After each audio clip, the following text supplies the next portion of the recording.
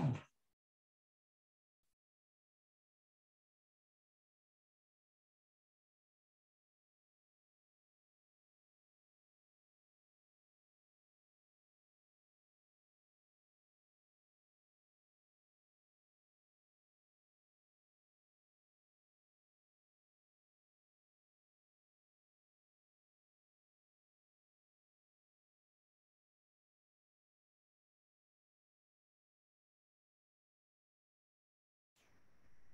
Okay, so it's about 102.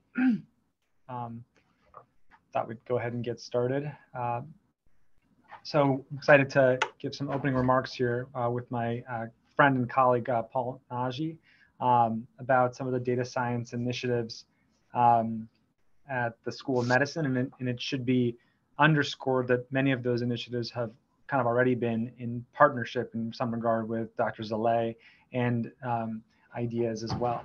I thought we, I, I invited uh, Paul Nagy to come and because I think he's closer to this precision medicine analytics platform, which I thought would be very timely to discuss here. So with no further uh, delay, I'll let him start and then I'll um, close out with a couple remarks about some um, uh, data sets and da uh, that we are uh, proud to be developing over the next uh, you know few months.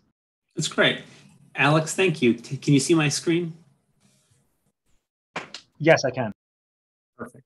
Uh, it's, it's, great to be here. Thank you uh, for the invitation. My name is Paul Nagy, and I'll be talking about our precision medicine effort and how we're trying to enable reproducible research off of medical record patient data. Uh, so the PMAP platform is an initiative at Johns Hopkins Medicine to build a secure environment where we ingest all the clinical data from our patients within Johns Hopkins Medicine and then provide analytics tools for researchers to be able to work on that data uh, to conduct research on treatment effect uh, and looking for new phenotypes that, that help predict the progression of disease. Uh, so the platform is, is sitting on the Azure cloud. As part of this, we have ingested data from our clinical information systems within the Johns Hopkins Medicine System. They include our electronic medical record, which has over uh, 2.6 million patients over the past five years. Uh, we have over 85 million medical images taken from radiology and cardiology. We have uh, physiological monitoring from 2,700 beds streaming from throughout the health system. And we also have sequencing data that, uh, that Alice will be talking to you about in just a few moments. So it's not just providing the data, we also provide data services on it for uh, harmonizing that data into common data models, for providing a data catalog, for enabling search and honest brokering it where we want to protect patient identification purposes uh, as, and, as much as we can, as well as providing annotation and pre-processing environments. So we perform patient matching across these different data modalities and then provide that to the researcher uh, within on the PMAP platform. And we do that uh, through a combination of different analytics environments. Uh, the first one is the SAFE desktop. Uh, the second one is we have Alex Szalay's uh, server environment set up within our environment where we have over 600 data scientists who use that with a combination of R and Python containers. Uh, and then uh, with that, we have pointed to that a different uh, compute environment that we can that we can a shared resource node that they can use, as well as uh, we also have a high performance compute cluster within this environment. This all, entire environment is, is sitting within the Johns Hopkins medicine environment. We have authentication, authorization, uh, and availability monitoring, uh, and accounting all driven on top of this platform. So the data stays in the platform, the researchers come in, they can perform all their analysis and extract their aggregated results. Uh, this, this, is what the platform looks like. And the back end, we're doing a lot of data manipulation and moving with a with a lot of uh, uh, stored procedures within whether it's SQL. We also do uh, we bring in ingest NoSQL data like narrative notes uh, into this process. And what I wanted to quickly share is one of the most important data sets we now have on our precision medicine platform is a data set called OMOP. Uh, which is driven by the OHDSI community, which is an open science community standing for observational health and data science informatics. And what we've done is we've taken our proprietary EMR data, our patients, uh, our two and a half million patients with our 23 million visits uh, that we've performed 14 million procedures on, and we prescribed over 40 million medications and have diagnosed 65 million uh, symptoms on the patients as well as performed over 400 million labs. We've converted this data into common terminology concepts uh, that have been standardized, and we have mapped them into a common data model. And now this gives us a data set which is really powerful. So when we perform analysis on that data, whether it's complex cohort identification or treatment effect analysis, we can do it in a way that we can actually uh, perform research and then share our code with other institutions around the world. So we have across the world, we now have mapped over 10% of the world's population into the OMOP data format. And so we now have access to over 800 million patients uh, throughout the world, throughout different, through our research network that all use the same data format.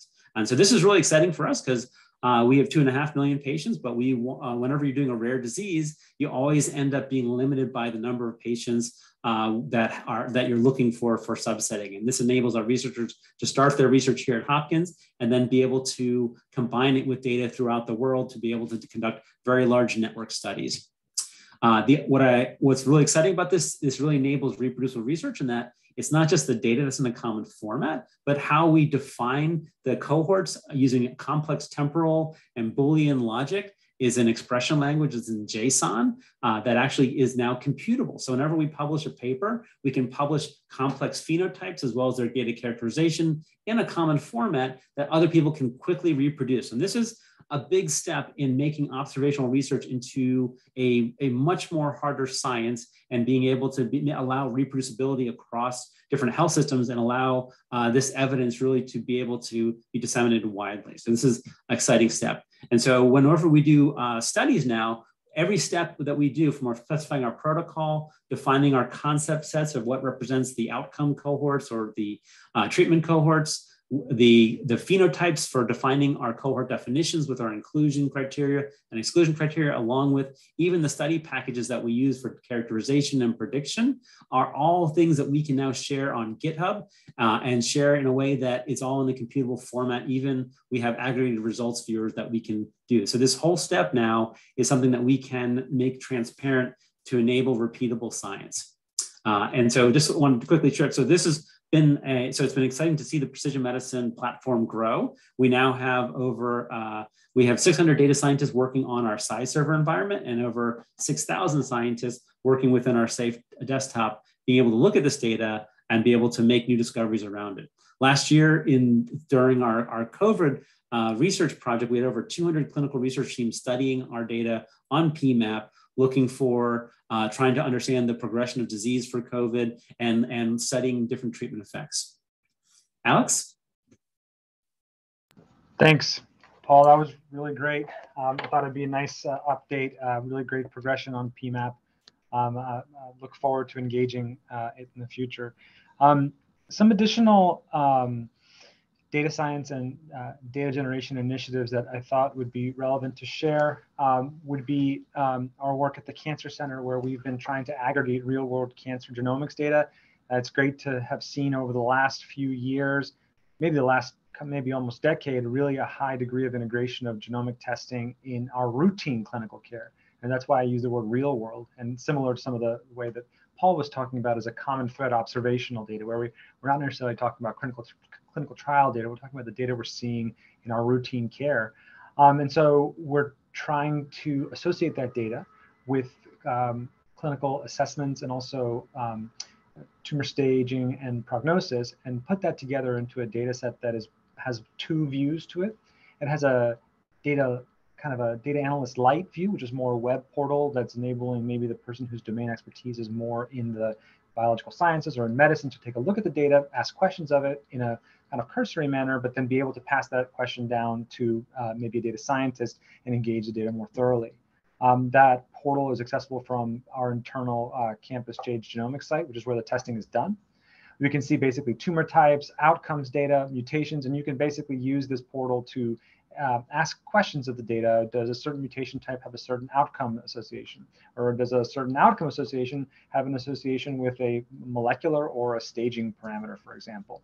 And, and what it uh, potentially allows us to do is if a set of patients are more deeply uh, curated in terms of they have multiple different outcomes we might be looking at some things that like that that actually uh, paul was talking about in terms of richly curating them in a common format, if we, if we can get there for some of these patients, we can start to do a lot of interesting correlatives. Um, we are uh, um, about 10,000 cases. Uh, we do about 2,000 cases of sequencing here in-house per year. Um, and we expect this to continue to grow as uh, sequencing becomes more and more common for this. Another brief thing I wanted to bring up is imaging, um, a topic that may be near and dear to many folks' hearts. Um, uh, pathology is just beginning its journey of looking at a tissue in the microscope uh, in the analog to uh, converting it to a digital image to enable analytics. Um, and we're uh, really jumping into this. We have a, a publicly facing uh, the um, Johns Hopkins Surgical Pathology Unknowns. Um, it's a collection of cases that each week the attending physician puts together difficult cases. Diagnoses are annotated and put online and made publicly available to the world. These images are gigapixel images, very high resolution images. Um, we also have um, used these platforms for curation of research uh, cases, even now in 3D, as you can see here. Uh, so these are 3D images from um, pancreatic uh, cancer uh, biopsies or uh, um, cytology. Now, the, the, I guess the overarching theme from the kind of uh, this this quick view into the, the data science initiatives um, update is that we are very um, excited to be generating as many high quality data sets as we can. And we are, as much as possible, actively engaging with all our data science colleagues across the different departments of uh, uh, uh, the university here and the hospital and internationally uh, uh, as well. Um, so it's an exciting time um, and uh, look forward to hearing the, the rest of the talks today. Thanks, thanks so much for your attention. And thank you, Paul, again, for coming to join us uh, such short notice. Appreciate it.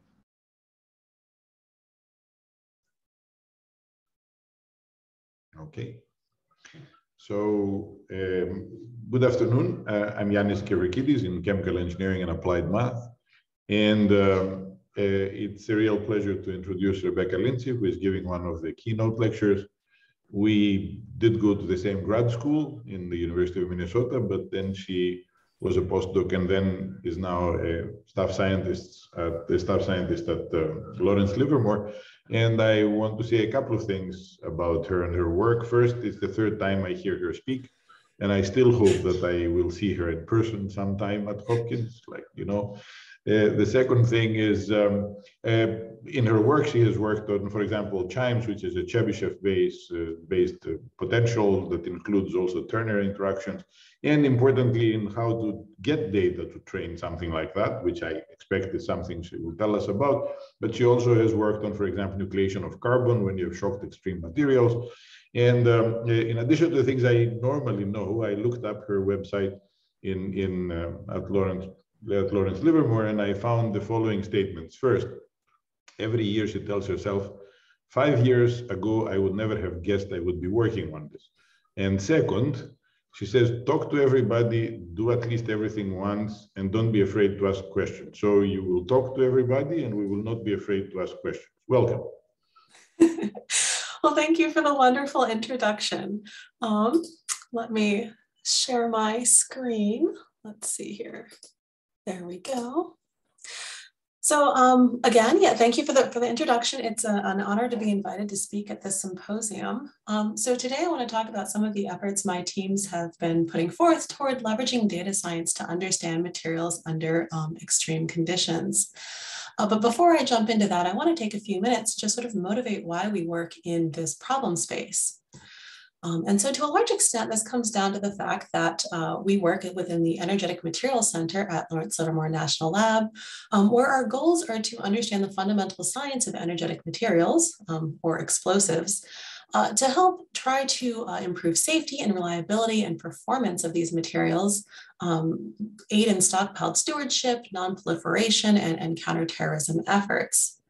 Um, and so a good portion of this work entails developing advanced experimental and computational tools um, where we aim to probe material evolution under the conditions realized in uh, detonations.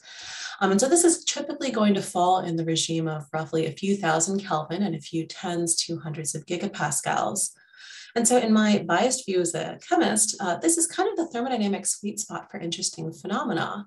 So things are moving around fast enough to start reacting and undergoing interesting physical phenomena, while at the same time not being so hot that everything just sort of dissociates into a plasma.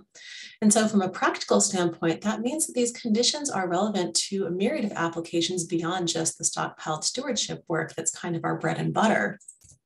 Um, so for example, we work in trying to understand things like planetary science and, and nanomaterial fabrication, um, prebiotic chemistry, and, and things like chemical safety. And so all of this to say there's a preponderance of interesting science to do in this area. Um, but one of the problems that we face is that the experimental and, and computational studies are made more challenging by the sort of confluence of um, complicated materials, uh, extreme and, and dynamically changing conditions, and uh, the high or, uh, the high cost associated with running our physical experiments and their destructive nature. Um, and so today I want to talk about some of my team's efforts uh, to develop predictive modeling capabilities to overcome some of these challenges. And so specifically toward things like uh, material aging and compatibility, where we're trying to develop improved uh, models that can help us understand how material aging is going to impact their performance. Um, and then I'll also talk about some of our atomistic simulation efforts, where here we're trying to understand the uh, microscopic phenomena that govern the response that we see as materials evolve under these extreme conditions. And so ultimately here, this, this work is, is sort of um, uh, shares in common the fact that it relies critically on data science as sort of a, um, a tool. And so I'll start off by talking about our atomistic simulation efforts, um, which is done in collaboration with um, the team listed here. So uh, let's start with a bit of background and motivation. So uh, within the Energetic Materials Center, we rely critically on continuum modeling capabilities. Um, and so this is a sort of simulation that uh, can achieve quite large scales, um, both in time and length. So ranging from perhaps a micron and microsecond for a single material, all the way out to the you know, meter scale and, and beyond um, and so we really like to use this as a means of, of guiding and aiding in interpretation of these challenging physical experiments, where we're trying to perhaps get at the phenomena that govern the response that we see, um, and oftentimes to forego these experiments altogether. Now, uh, these simulations are input greedy, so we're going to need to provide models that describe the equation of state, thermochemistry, and dynamic response of all of the different materials that go into them. And so traditionally, these sort of models tend to be generated through parameter sensitivity studies. So one will select an empirical model form, um, tweak the parameters, run a continuum simulation, make a prediction, and then try to compare that with some experimental data. And if it doesn't match, you go back, you tweak the parameters, and you kind of rinse and repeat. Um, and so this has a few disadvantages associated with it. Um, first, oftentimes the experiments needed to validate um, these models are expensive, so we can be working in a sort of data-starved um, regime. But more importantly, this approach tends to preclude validation of the physics that are assumed in these models. Um, so that really becomes a problem when we think about uh, using these in a predictive capacity. Um, and so to overcome this challenge, we've been really interested in multi-scale modeling as an alternate means of generating physically motivated input to these simulations. so what I'm showing here is a very, very coarse view of this multi-scale modeling framework, where the idea is instead of starting from um, experimental uh, data, we can start from data generated from higher resolution or atomistic simulations. Um, and so this approach is nice because atomistic simulations themselves require very little in the way of input. Um, we really just need an initial set of coordinates. So this can be like a crystal structure for our material. And then some sort of interatomic model that tells us how the system energy is going to change in response to uh, these, these atoms wiggling around. And so with this and, and, Newton's equation of motion, we can um, predict how the system is going to evolve over time, and we can post-process these simulations to get at things like the dynamics, equation of state, and thermochemistry for these materials, where this happens to be precisely what we need to input to our continuum simulations. And so we can feed these in, run our continuum simulations, generate the predictions we were trying to generate before, and of course, validate these with experiment um, if we like. And so as presented, this is kind of a, seems like an ideal approach. Um, but I've glossed over a critical detail, which is the critical huh, role that the interatomic model plays. Um, and so the idea here is that any errors introduced by this model are going to propagate up this input chain, potentially exacerbating and compromising the, the predictions that are coming from our continuum simulation. Um, and so we, we spend a lot of time thinking about this question of, you know, how does one select a suitable interatomic model for these sorts of applications? Um, and so traditionally, we've had two different approaches available to us. Um, we could use quantum mechanics-based models, which are going to be very, very accurate, um, but these are also very computationally expensive and so limit us to prohibitively small system sizes. And so then on the other hand, we have molecular mechanics approaches, where comparatively these are extremely computationally efficient. Uh, but here the challenge is that these models tend not to be designed or parameterized for the materials or conditions that we're interested in. Um, and they are also very difficult to, to tune and, and generate parameter sets for because these are very highly nonlinear models. Um, and they also tend to be confined to uh, lower levels of accuracy than quantum mechanics. and so ultimately what we needed was some approach that could bridge this capability gap, um, giving us the predictive power of first principles or, or quantum mechanics, if you like, and um, the, the computational efficiency of molecular mechanics. And so this, this drove us to become interested in this idea of leveraging machine learning as a way to generate models um, for, for our applications. And so in the next couple of slides, I want to talk about the uh, approach that we've been developing um, to, to do this. And so our interatomic model is called CHIMES for the Chebyshev Interaction Model for Efficient Simulations. And as you can see here, CHIMES is a generalized many-body model. Um, so our total system energy is going to be described as the sum of energies for dimers of atoms and trimers of atoms and tetramers um, out to arbitrary bodiedness, where we use the following generating function to write down these many-body energy terms. And so this is just telling you two things. So the sum over this ty chunk here is just telling you that we construct our interactions from Chebyshev polynomial series. And then this product symbol here is telling you that we treat our many body interactions as the product of interactions for constituent atom pairs. So for something simple like a two body interaction, we have the following. So each polynomial or each t is a polynomial of subscripted order. Um, this argument S is just the transformed pair distance between a set of atoms, I and J.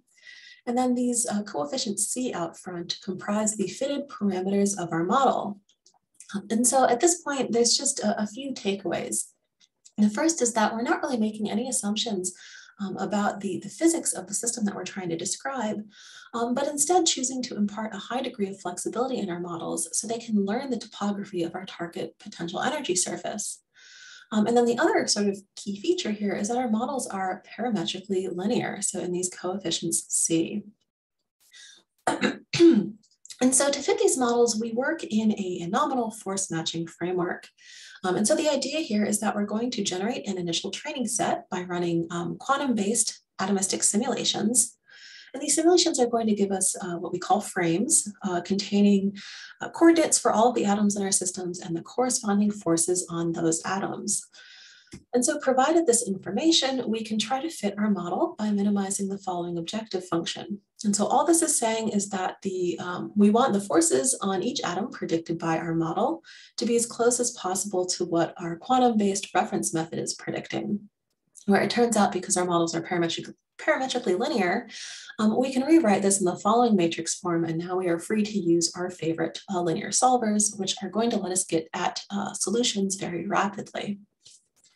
And so for this slide, the takeaway is that these models are rapidly parameterizable and capable of quantum accuracy um, by design. Um, and so one of the advantages of how quickly we can generate our parameter sets is that it makes these models highly conducive to uh, iterative refinement framework, um, like I'm showing here.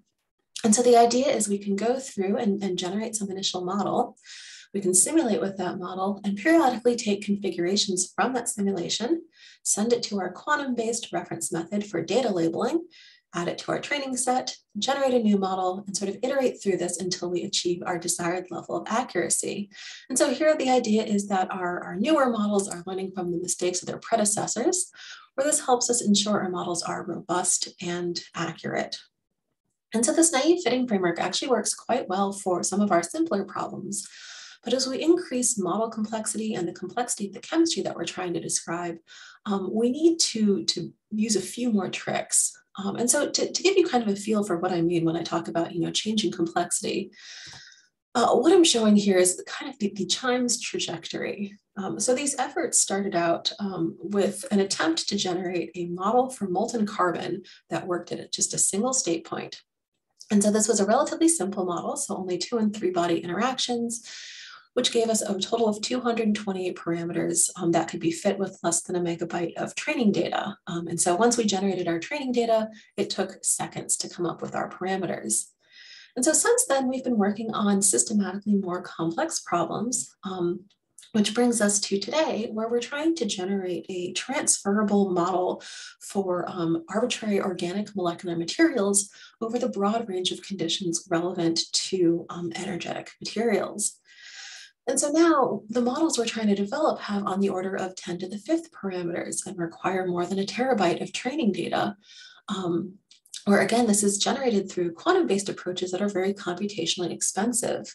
Um, and so this brings with it a couple of uh, practical concerns. Um, so for example, you know, how can we accelerate generation and labeling of our training data? Um, at the same time, how do we ensure it's meaningful and actually informative for our fitting purposes?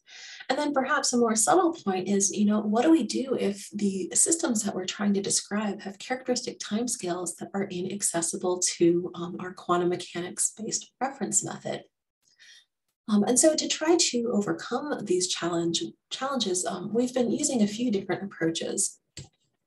Um, so one of the, the, things that we're doing now is using a multi-fidelity approach to model development, um, where here the idea is this is going to allow us to make better use of existing data that might have been uh, developed using different quantum approaches or um, let's say different levels of theory.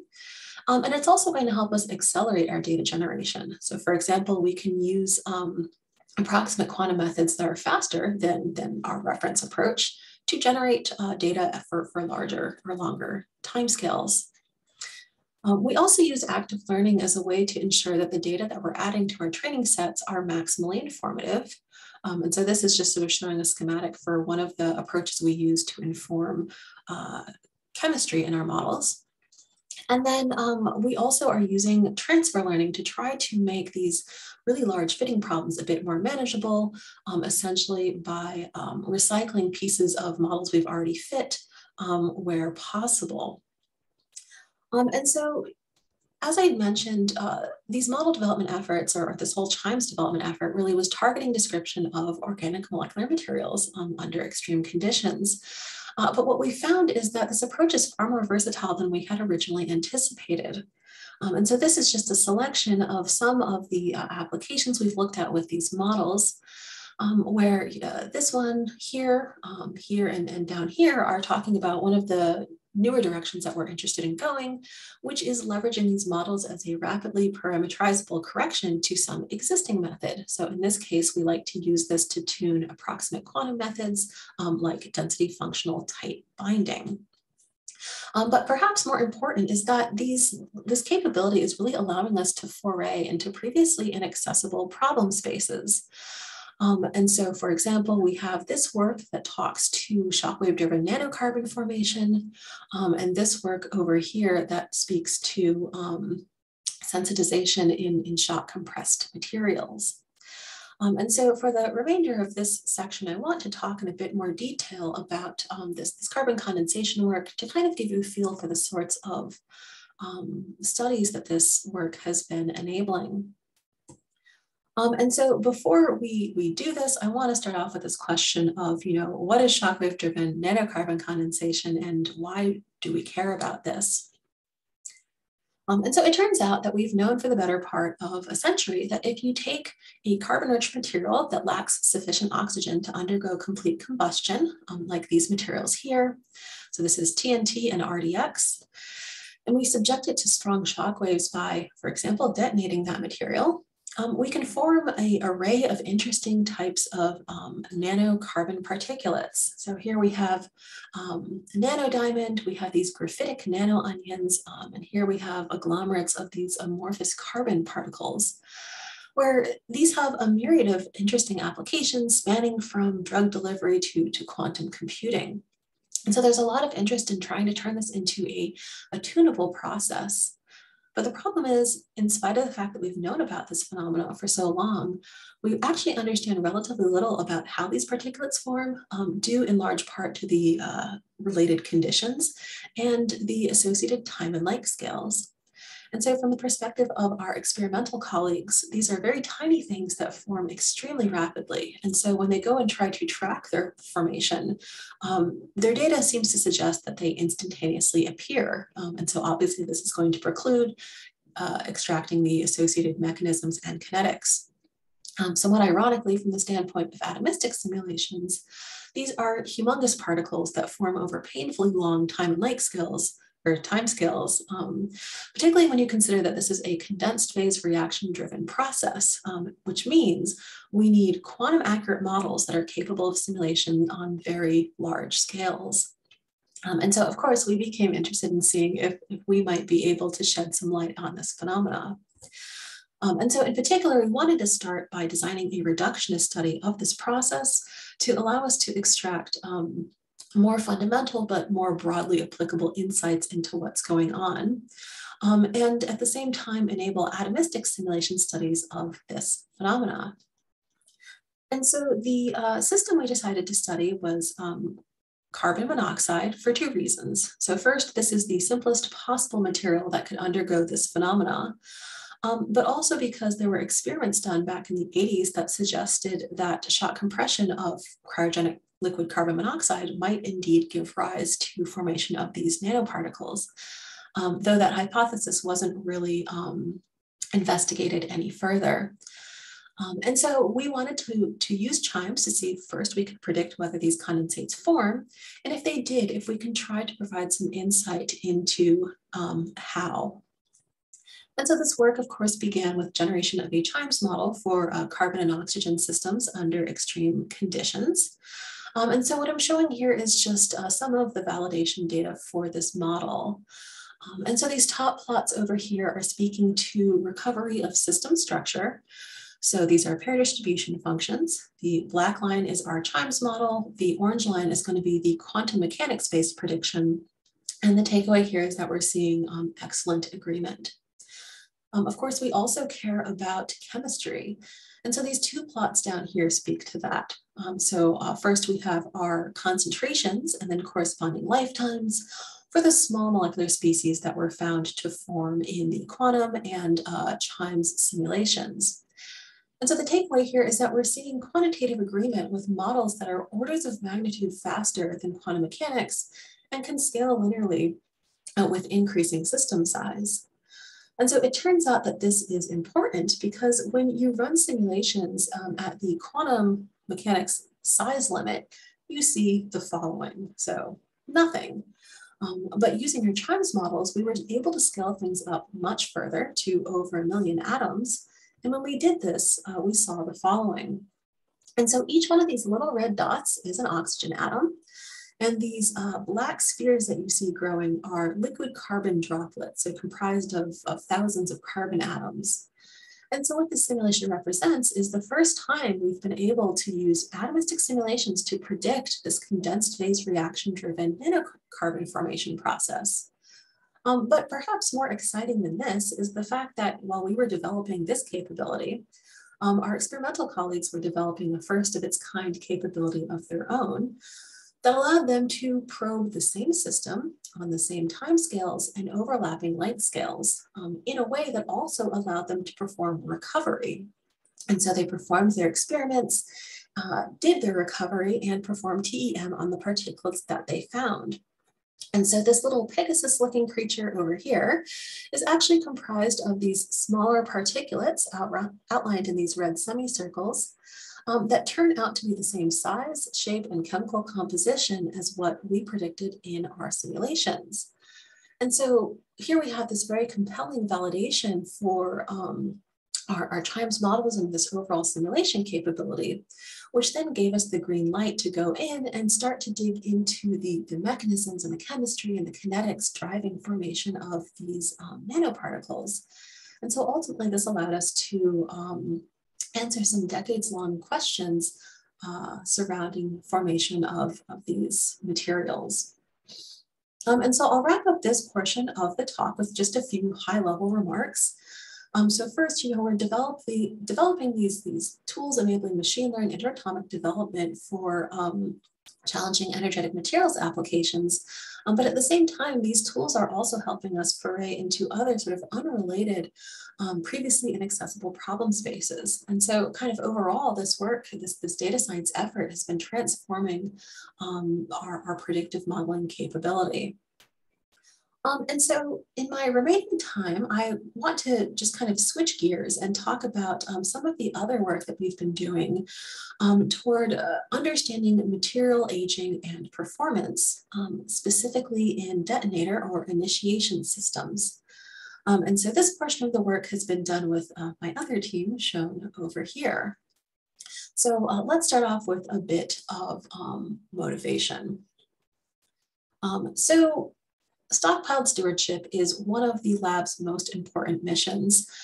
Um, and among other things, this means ensuring that the detonators that we design and deploy in the field are going to work as expected. Um, and so the key here is that detonators are the sort of system that you need for safety reasons to work 100% of the time. Um, but the problem is that many of the materials that are in these systems can undergo significant changes um, in as little as two weeks if they are subjected to the right conditions. Um, and so for this reason, we put a lot of effort into trying to design um, robust detonators that are going to function as expected over their potentially decades long lifetime, um, while in tandem developing diagnostic tools that can be used to check up on their health during that lifetime. Um, and so we do this through what we call our MAC and P cycle for uh, materials aging compatibility and performance, uh, where the idea is shown here. So we're going to start off with some initial set of engineering designs for a detonator. And so using, using these designs, we are going to manufacture tens to hundreds of these detonators, um, all of the various different components and the materials that go into them. And then we're going to take them and subject them to um, comprehensive characterization. So this can be spectroscopy, imaging, um, X-ray computed tomography, so forth and so on, where our goal here is to establish sort of a baseline health report for all of these different components. And so once we do this, we're going to take all of these samples and subject them to accelerated aging experiments. So this will be, for example, at elevated temperatures or and or humidities, um, where I just want to note that these accelerated aging experiments can last for years. So they're not as fast as you might think.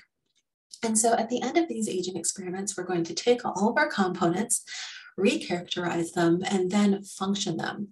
And so now what we're looking for are um, changes in their performance that are outside the margins uh, permissible in the original engineering design.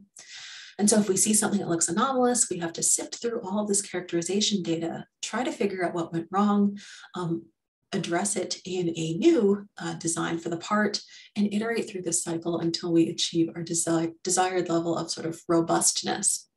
And so um, traditionally, uh, this inspection of, of, our characterization data has been done by subject matter experts by hand.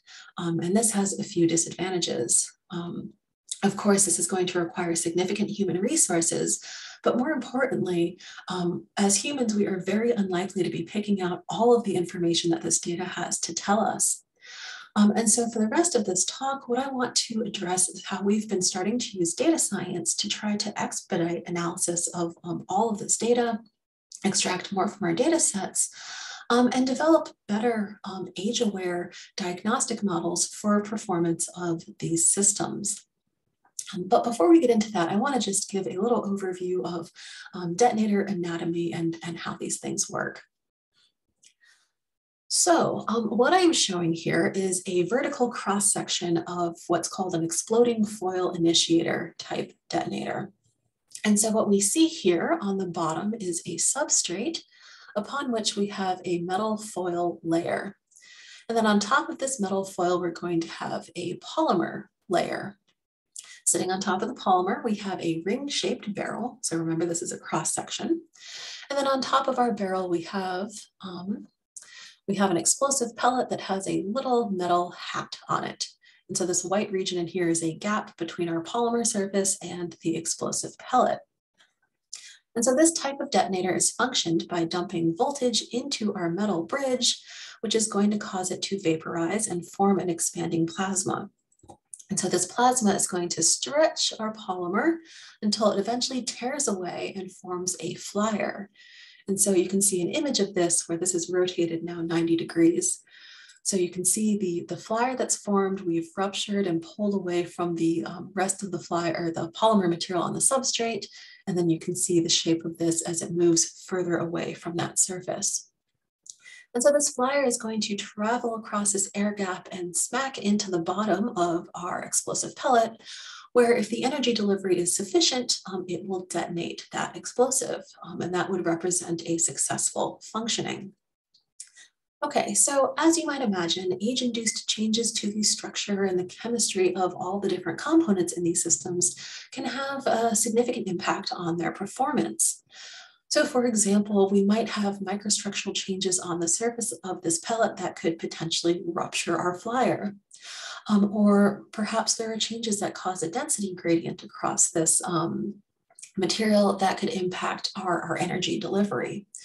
Um, and so the question becomes, well, what sort of characterization data might we look to to inform these changes?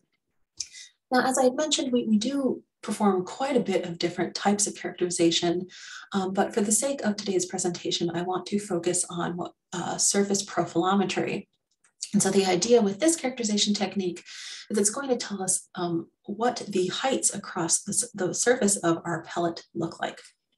Um, and so this is just a image of this profilometry data for a pre-age pellet in the back and then a post-age pellet in the front. Um, and so you can see things like um, inherent microstructural features, these little blobs um, you can see all over the place. We can also see things like scratches, so this guy over here, um, dust, etc. But we can also see age-induced changes in these materials.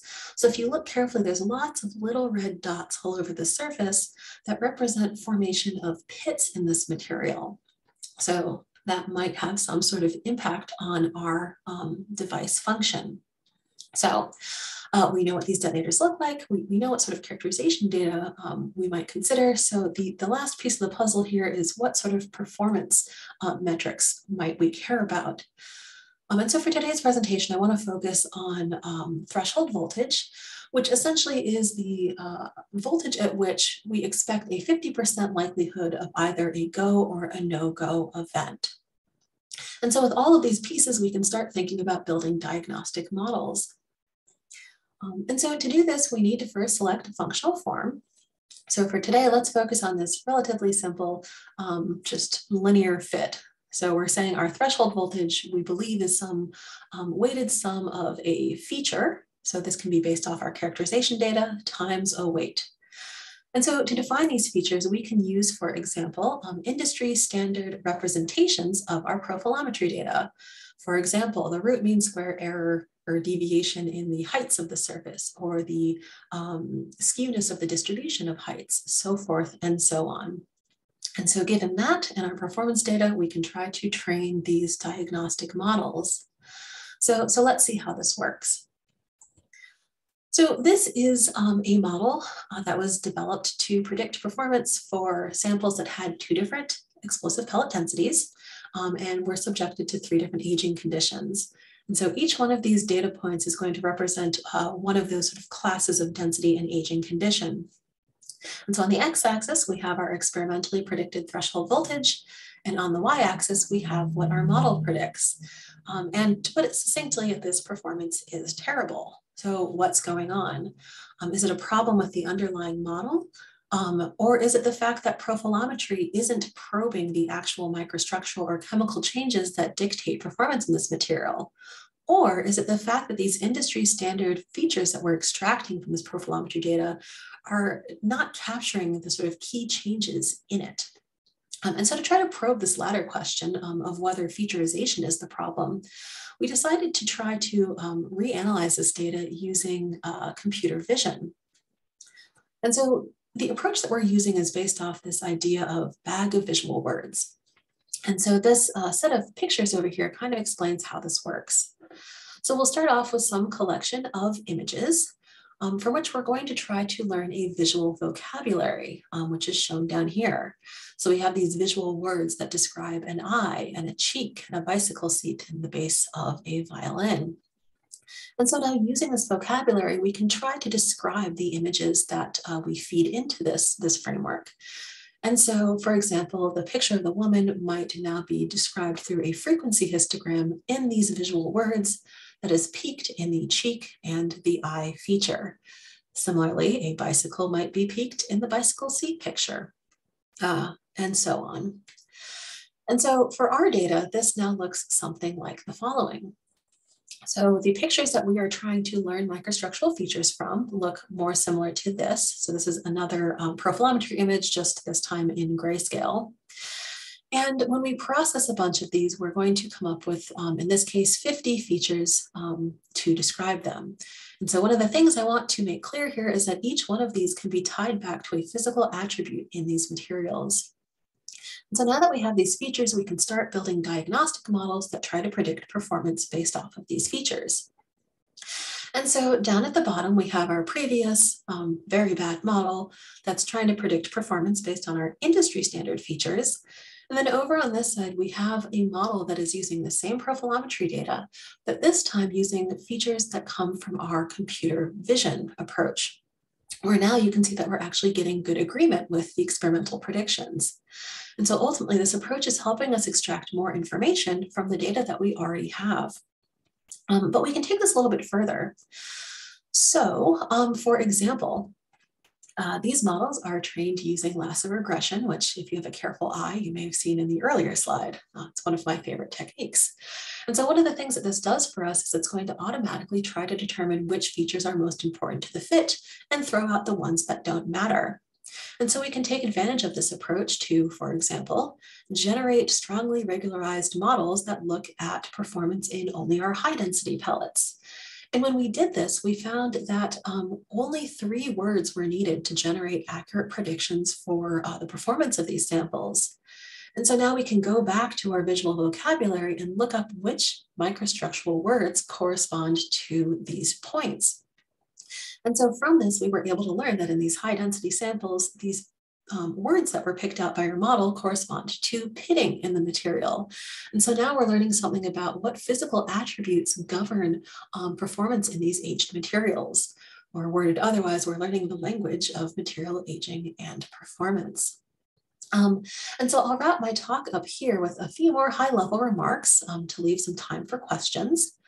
So first, uh, data science is really improving how we analyze um, what relatively we believe are our large data sets um, and helping us uh, make heads or tails of these experiment or uh, disparate experimental data sets that we get. So lots of different types of characterization data, lots of different types of detonators and materials, so forth and so on. Um, these tools ultimately are allowing us to extract more from our data, streamline our experiments, and develop high fidelity diagnostic models.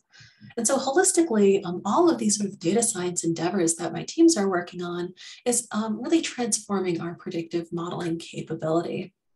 Um, so uh, I'll end my talk there and would be more than happy to answer any questions. Thank you. That was lovely. Um, let's see. Anybody else but me? Uh, I'm reading one, but people, by all, by all means, you're well, oh, you cannot, I have to read them. Okay. Uh, what optimization method are you currently using to solve the distributed lasso problem and at what scale? Yeah, the at what scale I was also thinking, please. Right. So um, our, our lasso solver is um, currently working quite well for on the order of tens of thousands of parameters. Um, but when we get much beyond that, um, it's still, we run into just resource issues. So it will distribute, um, but the question is, is it efficient in the sense that, uh, you know, we'll need to request hundreds of, of nodes to, to solve those problems. Yeah. And so I'm sorry, what was the first half of the question? Uh, what optimization method uh, are you using to solve the distributed lasso? That's the first. And the second was at what scale? I think you answered what scale when you said 10,000, but I was wondering more I don't know if that's what the question, the person who asked the question meant. what scale of features, like if you look at the simulation and you try to pick up words from the simulations you have already done, what would be the group of words that you would use to then discover the language? I don't know if I was. Uh, the first question is what do you use to, to solve the lasso? And the second was at what scale? So we're using LARS to solve the lasso equations. Okay. And for the scale, um, I, I don't know that I fully am, am understanding what, what I, uh, so uh, in, in, in the pictures that you said, there was the subscale that was cheek or, or, or eye or whatever. But if the if you have to choose the words based on your big anthology of simulations that you would have done if you were going to adapt your dictionary to things that you have produced what size of a oh. simulation what what window would it be I see. So the the visual words work is entirely based off of experimental data sets. Um, so in that case, uh, the, the scale, uh, well, you know, you had a picture that showed four pits, right? So it, if I saw it correctly, so when this, you said pitting, no, in the next slide, when you said that there was something where, where you said we recognize that in the aging, it oh, I see. So, right, right. So each one of these features, th this is um, like this feature that we see here would be roughly the size of this little white dot that we see here. So I don't know if, it, if you can see, see it on your pointer, so I don't know. Uh, so, are you talking about one of the little red squares on the the little red squares. And now I see your pointer. Yes. Right. So this, so this, this, guy, yes. This square here, this is a word, a microstructural word, um, yes. which when we try to relate this back to our image is going to be on the order of this little white dot that you see over here. Okay. Um, now, when we go through and try to define these words, there are far more than the 50 that we're showing here that might show up. And so basically the idea is we're using um, this SIFT method to try to pick out candidate words. And then yeah. we're going to try to cluster these words into some representative, um, well, cluster. And so words that visual words that seem to be very similar will be assigned the same sort of cluster and that cluster becomes the word that we have here. Um, and so for example, you can use like k-means or whatever to try to set a specific vocabulary size. So in, in like, there's, there's two minutes until the next talk, maybe I can ask what is, um, at what level does somebody go in and say, aha, this picture is pitting? Ah, so um, well, originally, that's kind of how all of this work was done. Someone would just stare at these images and say, you know, I see lots of pitting that that might be a, a, problem. So for us, we do, we have, there, there's two members of our team. We have the feature extraction members of the team, and then we have our, um, our model development members. And so the feature extraction members are gonna try to do this kind of without injecting subject matter expertise. And so one of our sort of sanity checks is, okay, when we go through and process the features that our model tells us are important, does this make scientific sense? And so that also tells us that our feature extraction approach is working um, well. Okay. Um, I mean, a, a thought. I, I, I think in what there is a woman, uh, there is a statistician at the University of Washington called Marina Meila. You may know her or run into her. One of her works says, uh, "Here is a bunch of features that I've found. Here is a bunch of possible candidate words that somebody gave me. We've also done some of that. Can we check one-to-oneness of these things on our data, uh, which is a way of one way of, of trying to. So it, it's not that this is pitting, but uh, it's one-to-one with pitting. So it's as if it was pitting. Right. So um, that we're exploring something kind of similar to that. So two things. First, transfer learning, trying to apply this accelerated aging um, vocabulary to actual field age samples and seeing if it works the same. Um, but also we can use the same approach on data that's generated through, for example, continuum simulations. And we can actually manufacture these sorts of, of structures and see again if they actually map to what we think. Thank you very much. It's still 155, so we are good. I okay. appreciate the talk. Lovely. Next. Thank you. Wonderful. Uh, good afternoon. Uh, my name is Charles Meneveau. Uh, I serve as IDIES Associate Director. And I also wanted to uh, join in thanking Dr. Lindsey for a wonderful talk. Uh, very interesting, all this multi, so so many scales and so so much complexity and still making sense out of things. So wonderful. And uh, now, of course, it's uh, my pleasure to uh, introduce the next speaker, Dr. Thomas Lippincott. Um, Tom, you're you're there. Okay, good. I can I can see you. Uh, very good. So uh, Dr. Lippincott is a uh, awardee of one of the IDIES Seeds Awards. Um, and let me tell you a little bit about him. Uh, so Tom is an assistant research professor of computer science affiliated with the Center of Language and Speech Processing and research scientists in the Human Language Technology Center of Excellence with secondary appointment in the Alexander Grass Humanities Institute. Uh, he performs research on how machine learning can support and facilitate traditional scholarship in the humanities. Uh, he has a bachelor's degree in philosophy and computer science from Chicago and a PhD in computational linguistics from Cambridge University. And today he's going to talk about uh, unsupervised neural uh, framework for multimodal literary and historical scholarship. Fascinating. Tom, the floor is yours. Uh, thank you. Can you hear me all right? Yes, and we can see Wonderful. the slides.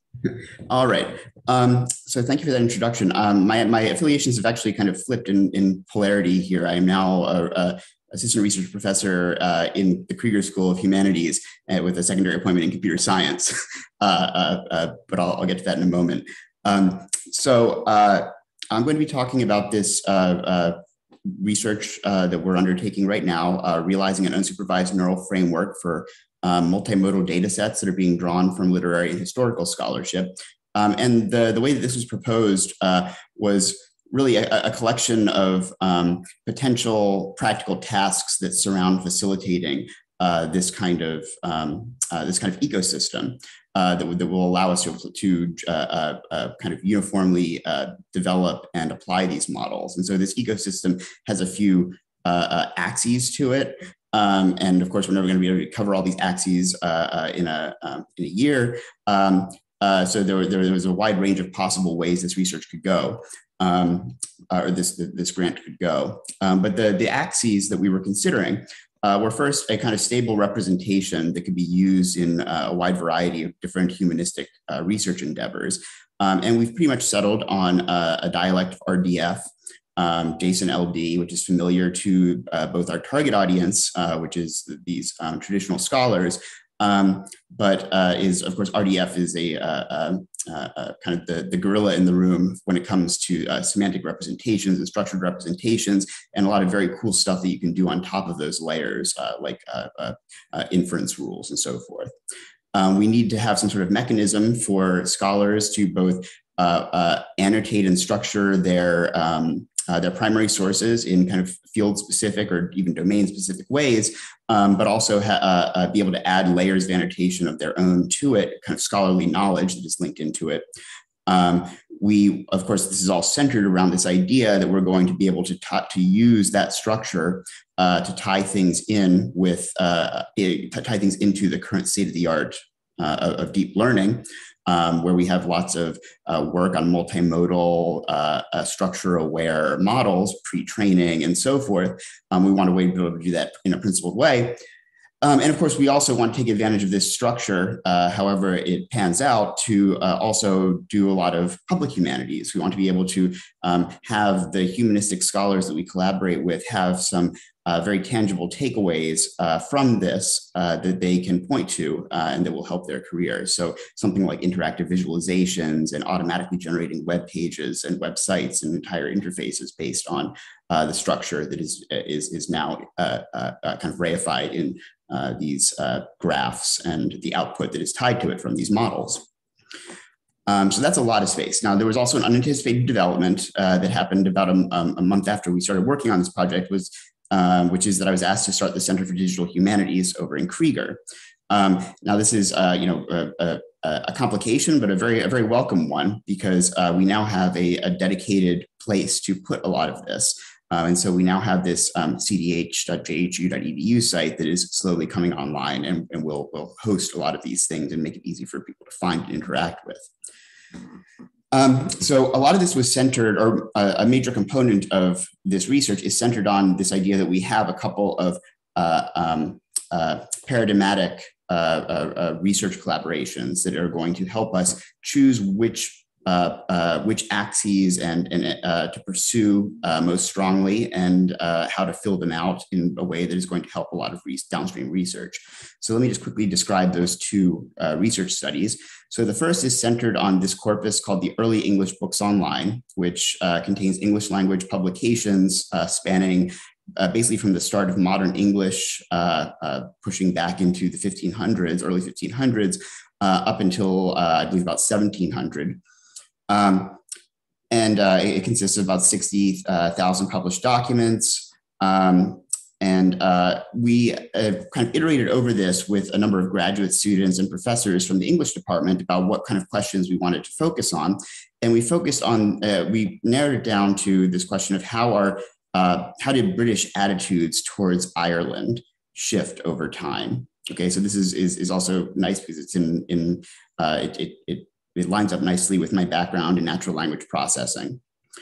Um, the other study uh, from a, a, completely different department in Krieger uh, is uh, with the Near Eastern Studies Department, who uh, uh, are very interested in what's called the Cuneiform Data Library Initiative, which is the world's largest collection of uh, cuneiform inscriptions. and this consists of about 300,000 inscriptions from the fourth to first millennium BC. Um, uh, the, the, the, metadata for this is very rich and also uh, uh, rather messy, um, but it comes with images, it comes with transcriptions, it comes with line art that has been produced um, by uh, uh, kind of like hand drawing reproductions, like lithograph type stuff that um, has been produced since the very beginning of the field. Um, and we've narrowed down on this question of how do uh, a bunch of these properties vary with respect to an existing scholarly hypothesis that uh, claimed that they were able to identify scholarly hands in a particular subset uh, of this material. Uh, so the idea is that uh, in, ancient times, there were very few people who were actually literate to the point of being able to produce these. And so there were a number of scribal centers, and it's unclear where letters exactly came from, uh, who actually wrote them physically, but we suspect that we're able to get back at that uh, information uh, looking at properties of the text. And I was, uh, I am afraid that I only caught the very end of uh, Rebecca's uh, presentation, but I, I, suspect that there's a lot of interesting overlap here because um, I think that, that it seems clear that a lot of the, the signal for the, the sort of authorship or sort of domain um, provenance of these artifacts is going to, to amount to things like microscopic or beyond human perception uh, properties of the material and handwriting and so forth. And so I'm very interested in, in, in the visual side of things uh, as far as that goes. Um, so we've done a little bit of, we're really just ramping things up at this stage, um, but we've done a little bit of work uh, on uh, some unsupervised topic modeling uh, uh, uh, as applied for this question of the British attitude towards the Ireland, which, which amounts to Irish rebelliousness. That's usually how it was, how it was, how it was um, characterized. Um, um, and here are some of the topics that we uh, were able to uh, that we came that came back to us when we uh, ran topic modeling. Um, you can see that uh, uh, there are some interesting things in here that I won't go into and unpack in depth, but uh, there are uh, correlations between particular uh, uh, individuals that we're able to identify and their particularly, I guess you would call it bloodthirstiness, the, the, the, sort of violent relationship they had with Ireland, um, questions about uh, uh, Catholicism versus Protestantism, questions about land ownership and uh, uh tenancy and rent and, and, and, that sort of thing. Um, these are all very uh, important topics. Um, and this is this snapshot that we have right here, um, I think is going to yield some very fascinating uh, uh, diachronic results when we turn the topic model around and look at how these things have varied uh, individually and in tandem over time, uh, because the, at least the, the, the the ground truth, or not the ground truth, but the um, uh, uh, the initial hypothesis here. from the domain-specific scholars in the English department is that it, England, England shifted from having a rather um, antagonistic relationship that was purely exploitative um, in the early times to becoming more, more and more paternalistic and uh, kind of um, at least ethically sounding um, in, in their uh, uh, approach to how to deal with uh, uh, the, the, particular problems presented by um, the protectorship of Ireland. Um, so I mentioned that we've settled on this RDF data format. This is just an example of uh, what this uh, sort of looks like um, for a little fragment um, uh, of, of, of, data that you might want to put into, um, into RDF, and it can all be expressed using this JSON format. Um, and the interesting thing here is that it's multimodal. Well, one of the interesting things is that it's multimodal. Um, uh, so we have images that are embedded in it. We have links to um, uh, to Wikidata uh, entries to try to uh, uh, uh prevent uh, redundancy in, um, in the way that things are represented across studies and even across fields. So it would be very nice to, for example, know that an author that is in a data set that the English department is interested in is the same entity that occurs in, say, a, a, a, an economic study of uh, slave ownership that's being done by the history department. Um, it, would, it, would be nice to be able to share that information and even have models sharing parameters based on that linkage.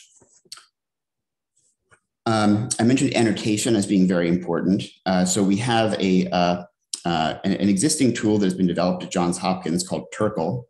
Um, this is a uh, feature parity clone of Amazon Mechanical Turk, uh, which is the very popular crowdsourcing tool um, or framework.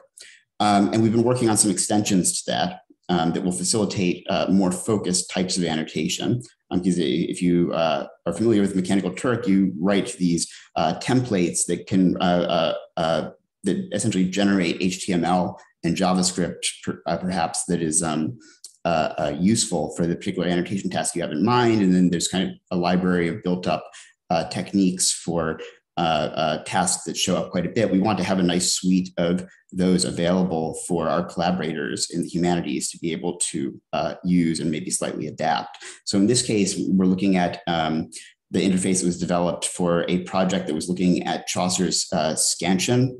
Uh, so this is the, the, the metrical qualities of, um, uh, of his poetry. and this tool, or this, I should say, this this particular instantiation of a Turkle template um, uh, does a lot of the work for the scholar in terms of uh, uh, ensuring consistency and presenting uh, uh, uh, coherent alternatives in terms of the, the metrical qualities, but also the grammatical tags that are on the words. And so um, scholars can, can, can, quickly iterate over this and correct the data or add annotations to the data. Um, uh, the second uh, image here is of a, uh, uh this, this, is a, an internet image, so I, I, don't claim this is anything uh, directly coming from our research. Um, but this is the basic idea is that we would like to have a, um, a nice drop-in vision image annotation framework that uses IIIF format as the um, kind of language of communication uh, and uh, will allow uh, scholars to get past this longstanding bottleneck of um, having images that are, say, poorly OCR'd um, or not being able to uh, directly annotate images and having to only uh, uh, uh tabulate their information in scholarly publications using standoff, uh, just kind of freeform text right next to the image, which is not a very good way to uh, create structured scholarship. Um, and then we are looking at a number of ways of extracting information from, both from uh, new types of models and from existing models, like the topic models that I showed earlier. Um, so we're looking at some tools like the linguistic inquiry by word count, um, and we're looking at ways that these extracted uh, uh, signals uh, vary both diachronically but also geographically. So there's been a fair amount of work on um, diachronic word embeddings, or yes, yes, word embeddings and topic modeling. Um, uh, but uh, moving that beyond to say three or four dimensions so that we actually have uh, both time and, uh, and geography um, as well, and then uh, creating appropriate visualizations for those um, that could produce some very nice public scholarship and interfaces for people to present their research with. Um, and I won't go into this too deeply. This is the the StarCoder StarCoder um, unsupervised graph-based autoencoding model that kind of generated the ideas or a lot of the ideas around this research. Um, and a lot of the uh, tasks that I've described up to this point are ways of um, uh, supporting uh, uh this model and its output um, so its input and its output, um, in a way that will make it more seamless for humanists to be able to bring their own data and then take away uh, the output and interpret it uh, in, in a, a, kind of um, a more intuitive way than is typically the case when looking at machine learning model output. Um, and finally, just looking further ahead, uh, we're going to continue analyzing the vi and visual visualizing the, these results with the scholars. Um, uh, a, a, broad organizing uh, uh, force behind all of this is that we really want to de democratize the access to all of these methods. So um, a lot of interaction with Krieger School and trying to bend all of these tasks in the direction of being more accessible, even at the, at the simple graduate student level. Um, and then generating copious amounts of documentation and pedagogical material um, so that we're able to quickly introduce people to it. All right, thank you very much. Thanks very much, Tom. Very interesting. Uh, all right, so the floor is open for questions. I'm going to monitor the chats here. Um, maybe as um, as I look, if there are any questions, um, I had a quick question.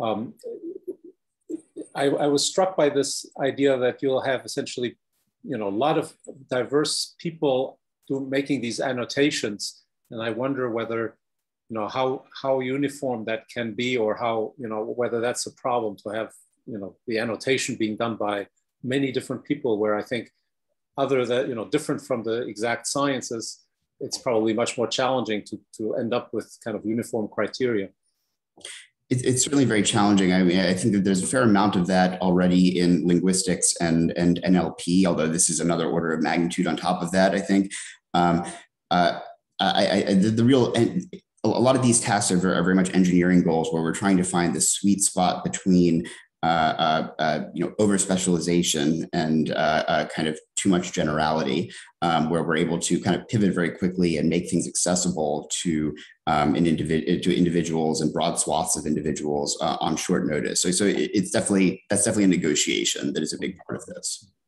yeah thank you Let's see if there's any i don't see any questions. Maybe one, one, one other question. I was curious. Um, what do you see as the sort of the, the major challenges to educate the humanists, hum, humanities people to use these sorts of tools? Are, are you, is there re resistance to it? Is it, is it, um, is it straightforward? How, how does that work? Right. So um, at, the, at, this stage, I'd say that uh, there's a lot of self-selective participation. So of course, it's a very good, very good experiences with the people who are showing up and really want to to be involved, and that you know that is already kind of maxing out my my, my energies and time. Um, but definitely for scaling it up, I think that there's a very good argument to be made, and it, you know whether it will ever be successful is, is a different question. But there's a very good argument to be made that there there should be some module um, uh, in graduate education that um, introduces at least some of these things um, and not the, the specifics of what I've laid, laid out here necessarily, but kind of the, the, the, broad advantages and disadvantages of computational approaches to humanistic questions, um, because I think that, that people should, should at least know what they're rejecting before they uh, reject it. Uh, and I, th I, think that I think that's very that's very feasible, and there there is I, have gotten I've got positive feedback on that. So okay. wonderful. Okay, um, so we uh, we wish you, of course, uh, good luck with the seed project and uh, you know parlaying that to other activities and, and future growth. So wonderful. Thank you. Thank you again. Thank you. All right. Uh, so I think we're uh, right on time. So it's uh, 2.15. So uh, the next presentation that I'm delighted to introduce is uh, by Dr. Jaime Combariza. Um, Jaime is associate research professor in the Department of Chemistry and um, He's really the director of what used to be MARCC, the Maryland Advanced Research Computing Center, which is now ARCH, and he, he will of course tell us about the evolution and the, and the, the changes. He also serves on the IDIES Executive Committee, and, uh, and he, he, he's gonna give us a, an update. But be before I, I, leave the floor to him, I, I really wanted to take this opportunity to reminisce about the past at Hopkins in terms of high performance computing. Maybe he doesn't know this, but as, as little as 10, 10 years ago, Hopkins, uh, at least in my field, we were considered okay in, in, in theory and experiments, but we this was a, a, computational desert. We always felt underserved. There was nothing going on in computing at Hopkins. It really was uh, uh, sort of really on the low end of, of, things compared to other institutions. We always felt sort of little. Uh, fast forward uh, now, uh, Hopkins is in a very strong position. Uh, Rockfish is a node in the National Lake Seed supercomputing network, et cetera, et cetera. So it's really remarkable to see this turnaround, and quite a bit of it is uh, in large part due to Dr. Combariza's uh, efforts. So he will now tell us about more recent developments that have taken place. So Jaime, floor is yours. Thank you. Thank you very much for your uh, words, Charles. Uh, can you all see my slides? Uh, not yet. Not yet. Okay, now we're having problems again.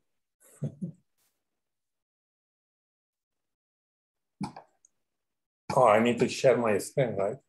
Yes, that you have to do. That I should do. Yes, it's moving now. Okay, yep. I'm sorry about that. Very All good. right, good. So I'm gonna give you an update on the status of high performance computing at Hopkins today. And Charles is absolutely right. Uh, today we have a very powerful uh, instrument.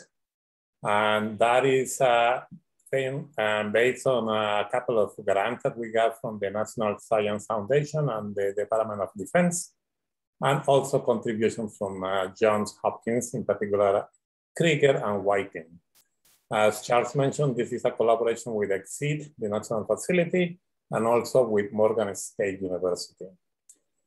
Uh, this is the way to contact us. As uh, Charles mentioned, we have a new name. So this is our new website, www.arch.jhu.edu. And the way to contact us for questions or comments or whatever is help at rockfish.jhu.edu. So before I do some presentation, let me talk, uh, let me say a few words about advanced scientific computing as is seen by some of the funding agencies. Um, so we all know that science and computational research are continuously evolving as the first talk showed today and often at a very, uh, at a very fast pace. So for us, this means that, first of all, we have access to more powerful systems like Rockfish. That means that, uh, again, as, as mentioned in the first talk, the simulations and the modeling is now different, it's uh, optimized, it's improved, it's much better. We are able to do higher accuracy, uh, high fidelity, and that we can also include uh, experimental or observational data and machine learning. We have advanced or very sophisticated uh, software packages optimized for new, for new hardware. And we have many tools from uh, AI and ML that are open to anyone. And this is basically the result to accelerate discovery and innovation.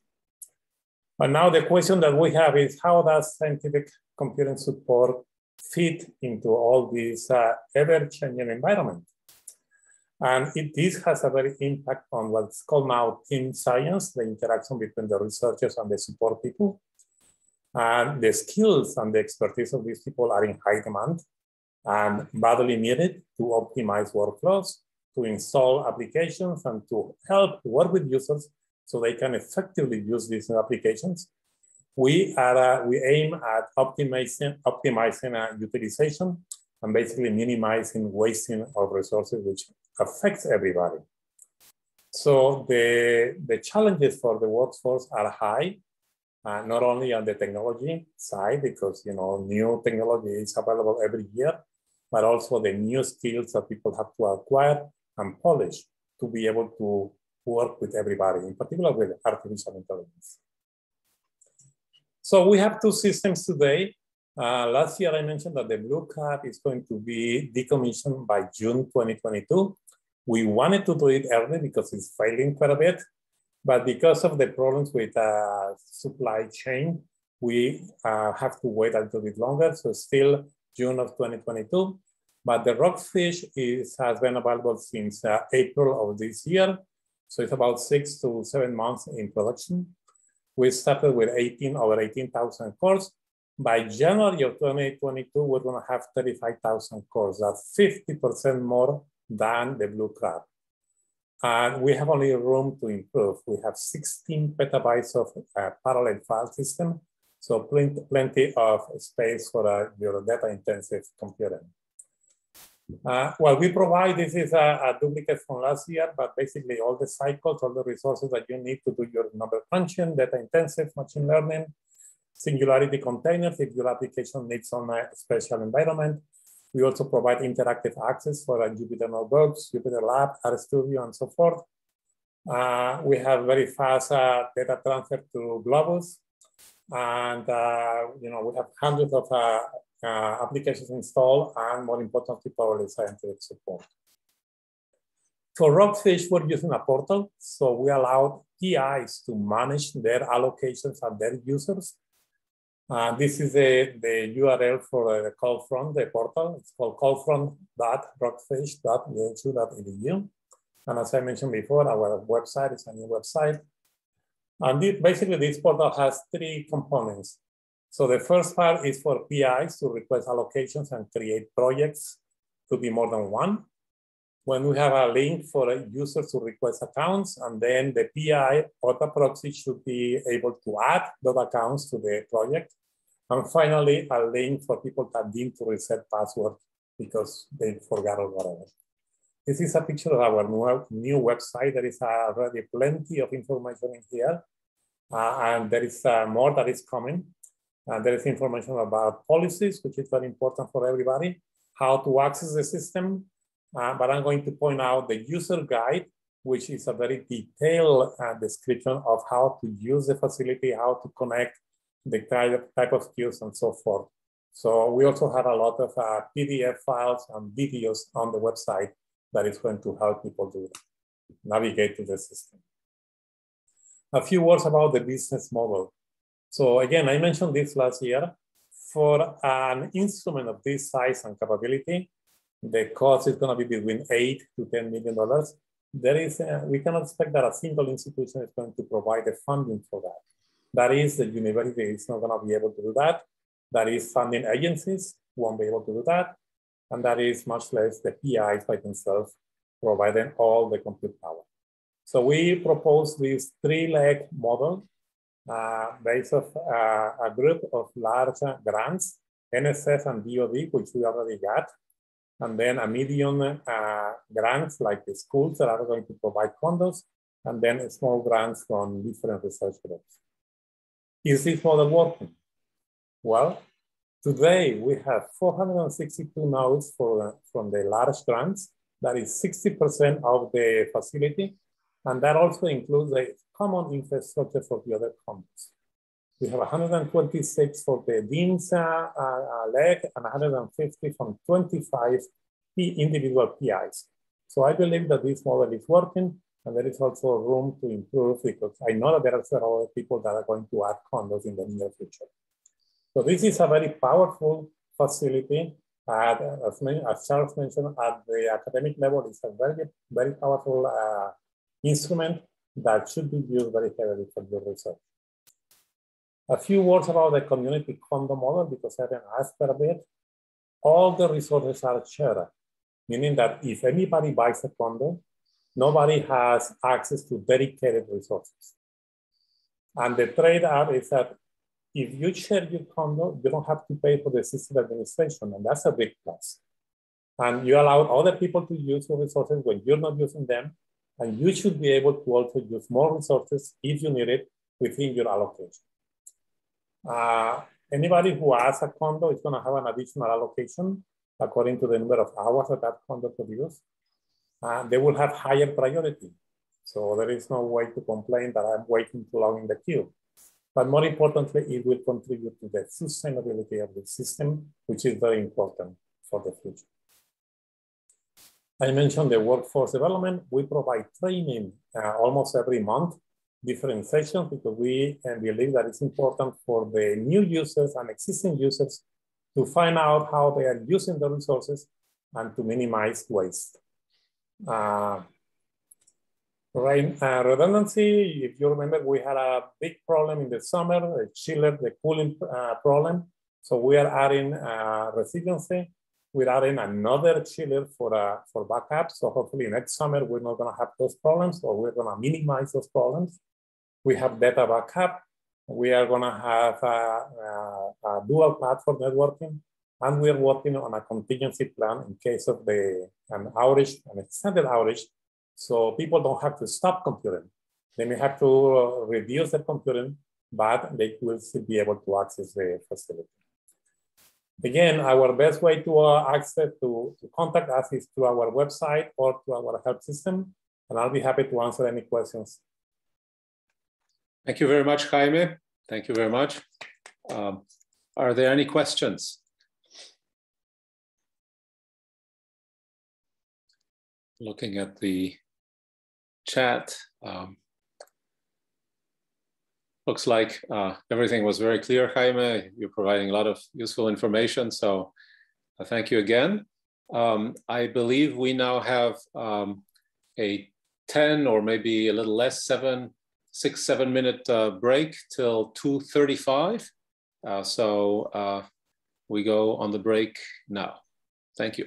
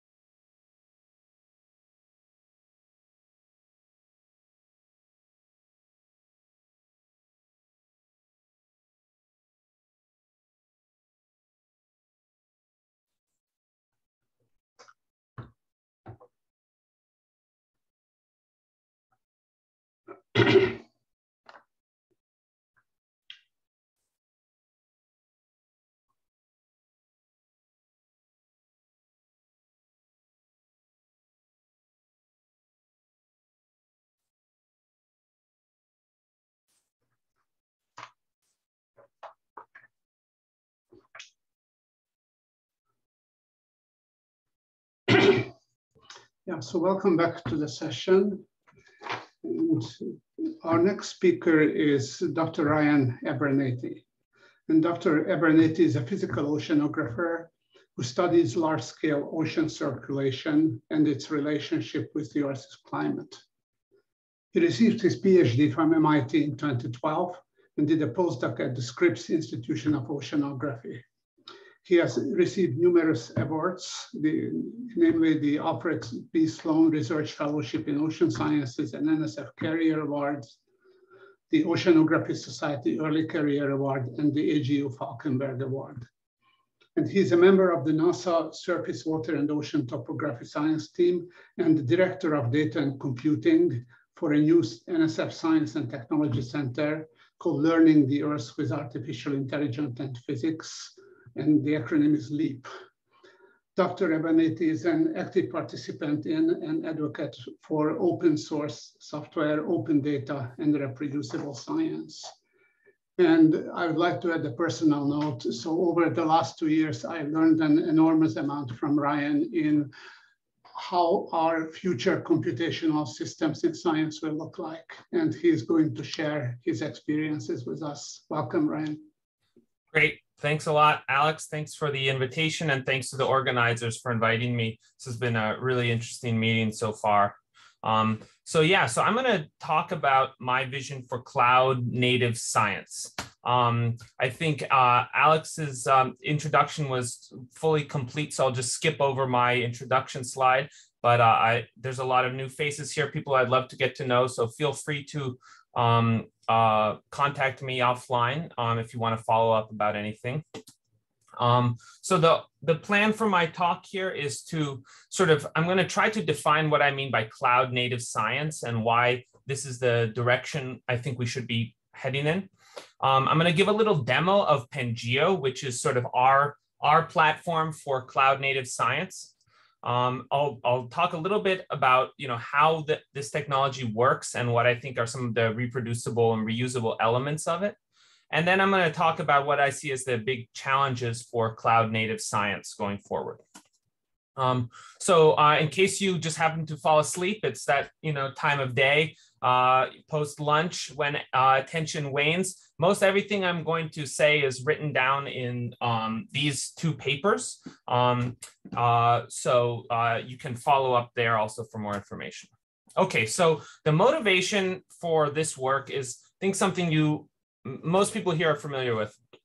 We're in a real golden age for scientific data. Um, uh, the sensors that we have to collect data I, am an oceanographer, so I'm speaking about the Earth, but the sensors we have to collect data are, are getting more powerful every day. Um, new platforms, new instruments, the, the simulations we can run to understand our uh, natural systems are generating more and more interesting, fascinating data. Um, and uh, it's really such an exciting time to be doing science and data intensive science in particular. Um, the, the flip side here is that we have a huge challenge related to the volume of data that we want to look at. So here's a, a graph from NASA about their um, Earth data holdings, uh, projecting that you know within just a few years they'll be uh, holding 200 petabytes of Earth science data, um, which is a, a, very intimidating number.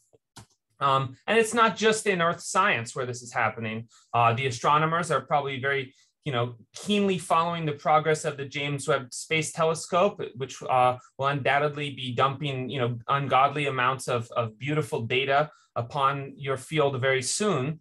Um, and, you know, I'm moving downscale a little bit in terms of microscopy, Genom genomics, you know, new technologies like light sheet fluorescence microscopes are imaging cells and, uh, you know, uh, biological systems with amazing fidelity and detail. But they, you know, again, we get into this problem of petabytes and petabytes of data that we want to, stay, you know, work with. Now, what do people want to do with all this data? Um, I, you know, I think it's important to remember that a lot of applications, uh, a lot of really high impact science can be done through simple statistical analysis of very large data sets. So for example, NASA is collecting a lot of uh, you know, detailed sea surface height measurements. If we just take the mean of those, what we see from that is this sort of inexorable global sea level rise um, that is a, uh, you know, a smoking gun footprint of global warming. Um, of course, we want to understand the patterns of spatial tempor temporal variability in all of these data sets. And uh, of course, being 2021, you, uh, no one can uh, even consider not doing machine learning on all of this fantastic data, right? So um, uh, there's a, a, so many exciting new methodologies uh, that can be applied to extract new insights and learn about physics and discover patterns. And uh, what these workflows all have in common is that they require you to really work with the whole data set. You're not just interested in some little piece or some little subset. You want to process the whole, whole data set or the a large data set to train your model or to calculate the correct statistics.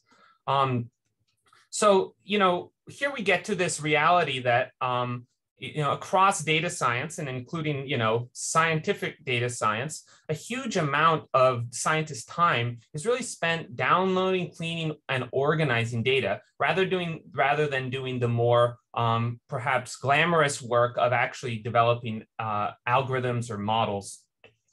Um, this was recently highlighted in a paper um, by some AI researchers at Google called entitled Everyone Wants to Do the Model Work, Not the Data Work. And these authors really emphasize that uh, the goal of incentivizing data excellence as a first class citizen of AI. So the, all these great methods, all these great um, new tools that we're getting from AI and ML, they're really not valuable unless they're um, paired with high quality data and accessible data.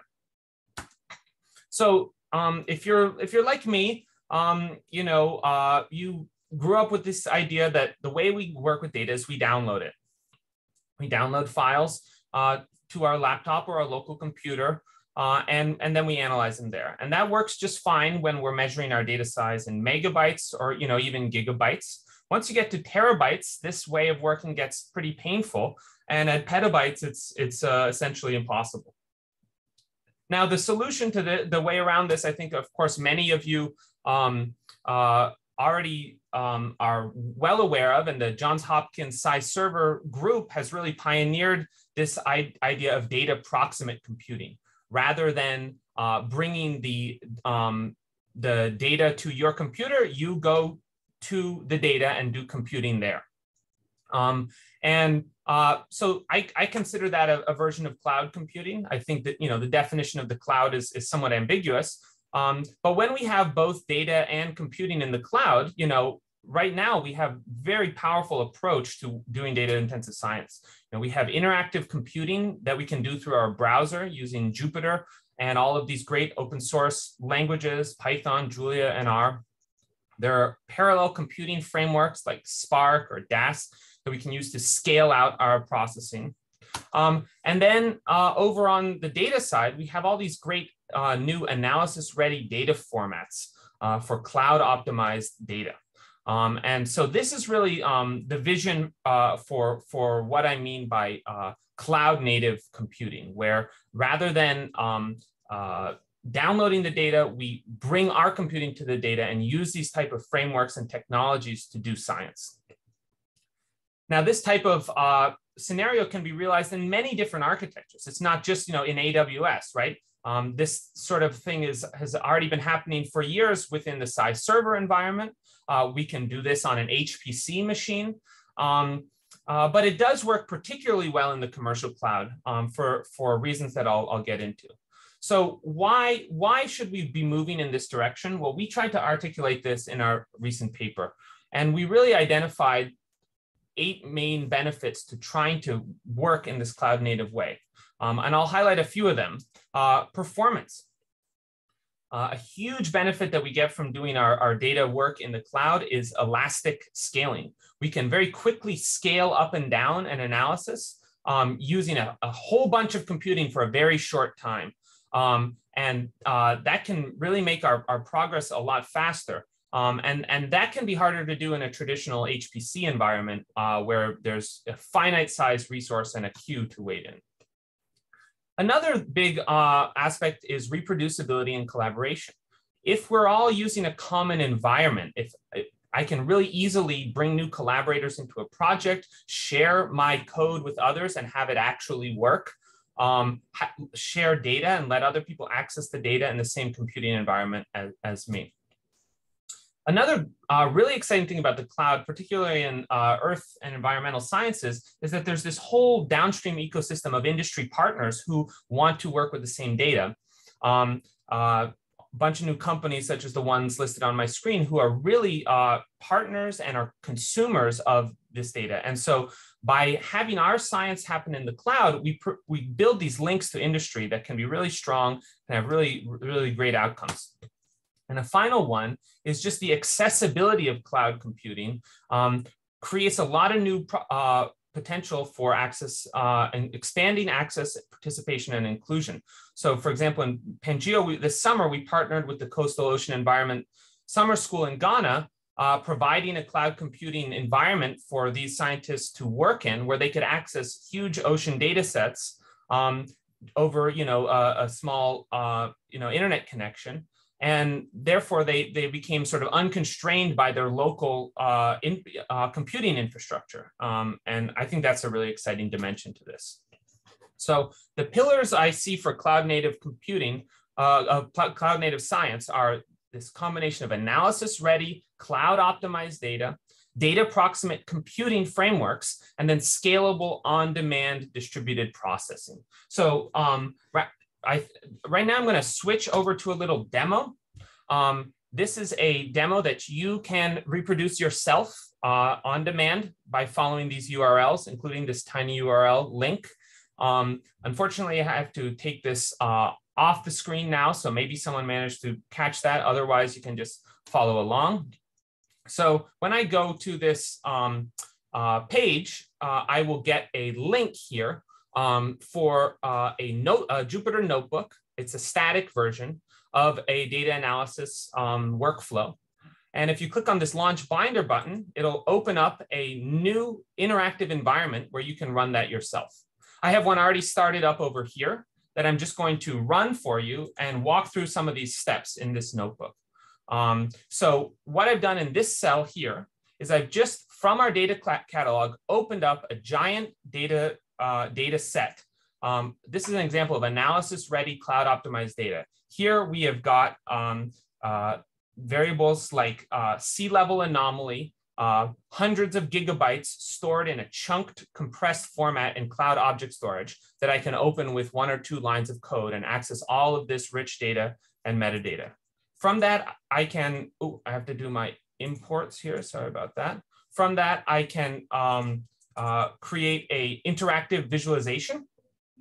Um, so I can plot this data uh, on demand and stream the data directly into my notebook um, without really downloading it just because I'm right next to it uh, in the same cloud region. This is that happens to be running in Google Cloud. So I can sort of scrub through this uh, sea level data um, and explore the data set interactively. And then uh, I, when it comes time to process a lot of data, uh, I can use parallel distributed computing. So in this cell over here, I'm just going to compute the um, time series of mean sea level anomaly um, through this cluster. Uh, and I'll open this dashboard up so we can see what's happening here. So um, what's going on here is that um, I have uh, started up this cluster. Uh, uh, it is for some reason zooming in on the region where I do not want to be. Where we are now um, using about 20 compute nodes in parallel on demand to process through the data. Each one of these is a compute task. And this is an interactive visualization of this Dask dashboard, which is pulling data from object storage, reducing it through a MapReduce type operation, and is going to um, boil down that same figure of sea level rise that I showed um, at the beginning of my talk. So I'll just flip back over to the notebook here. And as soon as this line is done, we should be able to make that plot. So here we see the same plot of global mean sea level. Um, so that was a whirlwind, uh, but um, I am going to, oh, I still want to keep sharing. I just want to go back to my presentation. Um, so let's go back to this. Um, so uh, if you want to reproduce some of that for yourself, um, just check out those URLs there. So um, uh, now I'm going to describe a little bit, uh, having showed the demo, you know, what is the Pangeo project um, and uh, how does how does all of this work? So um, Pangeo is first and foremost a community platform for big data geoscience. Um, so uh, it consists of an open community, open source software, and open source infrastructure uh, for actually deploying this stuff. Uh, we're funded by the National Science Foundation EarthCube program, NASA, uh, and the Gordon and Betty Moore Foundation. Um, so this community really consists of partners at a lot of different institutions, universities, um, uh, government research labs, um, and quite a few um, uh, groups from private industry. Um, and uh, that's because I think we're building a, working on a pretty generic technology stack that has applications in a wide range of fields. So if this appeals to you, you know, you're openly, you're all openly invited to participate in this community. Um, we have a seminar. I'll skip over this part. So what about the software? So Pangeo software and the tools I just showed off in that demo uh, really are part of this uh, open source scientific Python ecosystem. Um, and our approach, uh, and I think this is a, a really important one, is uh, to really try not to start a lot of new software projects and create build a bunch of new stuff, but rather to take those existing uh, community open source projects that are out there that are already have users and a community around them and try to connect them together and strengthen them and strengthen this ecosystem. And so um, Pangeo is really built out of uh, Xarray, a, a computational library for gridded data, uh, Dask, that distributed um, parallel computing library I mentioned that allowed us to scale our research out, um, Jupyter for interactive computing environments, and Zarr, which is this uh, cloud optimized storage format.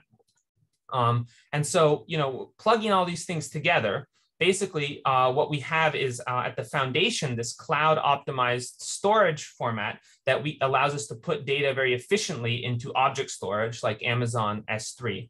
Um, we have Dask, this general parallel computing framework that can um, run through Kubernetes or almost any other parallel computing uh, scheduler. And then uh, users just connecting to this type of system through a very lightweight web-based interface, such as Jupyter. Um, I'm going to just skip uh, some details here because I'm looking at the clock.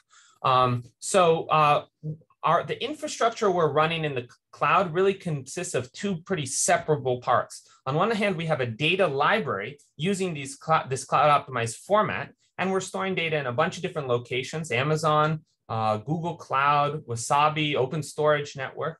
Um, and then we have some computing hubs, uh, Jupyter hubs and binders that are able to scale up and down on demand uh, as users log in and out. Um, this data catalog is uh, really exciting and exceeds already exceeds a petabyte. Probably the most visible project we've done here is to partner with Google Cloud and bring the climate model intercomparison project data um, to uh, Google's public dataset program. So putting over a petabyte of cloud optimized climate data in the hands of the world. Um, so uh, really important concept within this uh, framework of um, bringing data to the cloud is the concept of uh, what we call ARCO data or analysis ready cloud optimized data. So what do I mean by analysis ready? That means uh, we're not really so much thinking about sharing data files. We're trying to think about sharing data sets and hide that sort of complexity of, well, what are the files? How is this organized in files? So that researchers who use Pangeo in the cloud don't have to do that sort of tedious homogenizing and cleaning. They're already working with curated, cataloged data that's ready for analysis. By putting in the, this in the cloud, we, only have to do this one time. Uh, we don't have to um, you know, have every scientist cleaning and organizing their own uh, copy of the data. Another uh, important part of this is um, the cloud optimized part right? So um, cloud optimized data in, in, in the cloud, we're really talking about using object storage rather than file-based storage. And that means that the data format needs to play well with HTTP and support lazy access and intelligent subsetting over HTTP, and uh, to integrate well with high-level analysis libraries and distributed frameworks.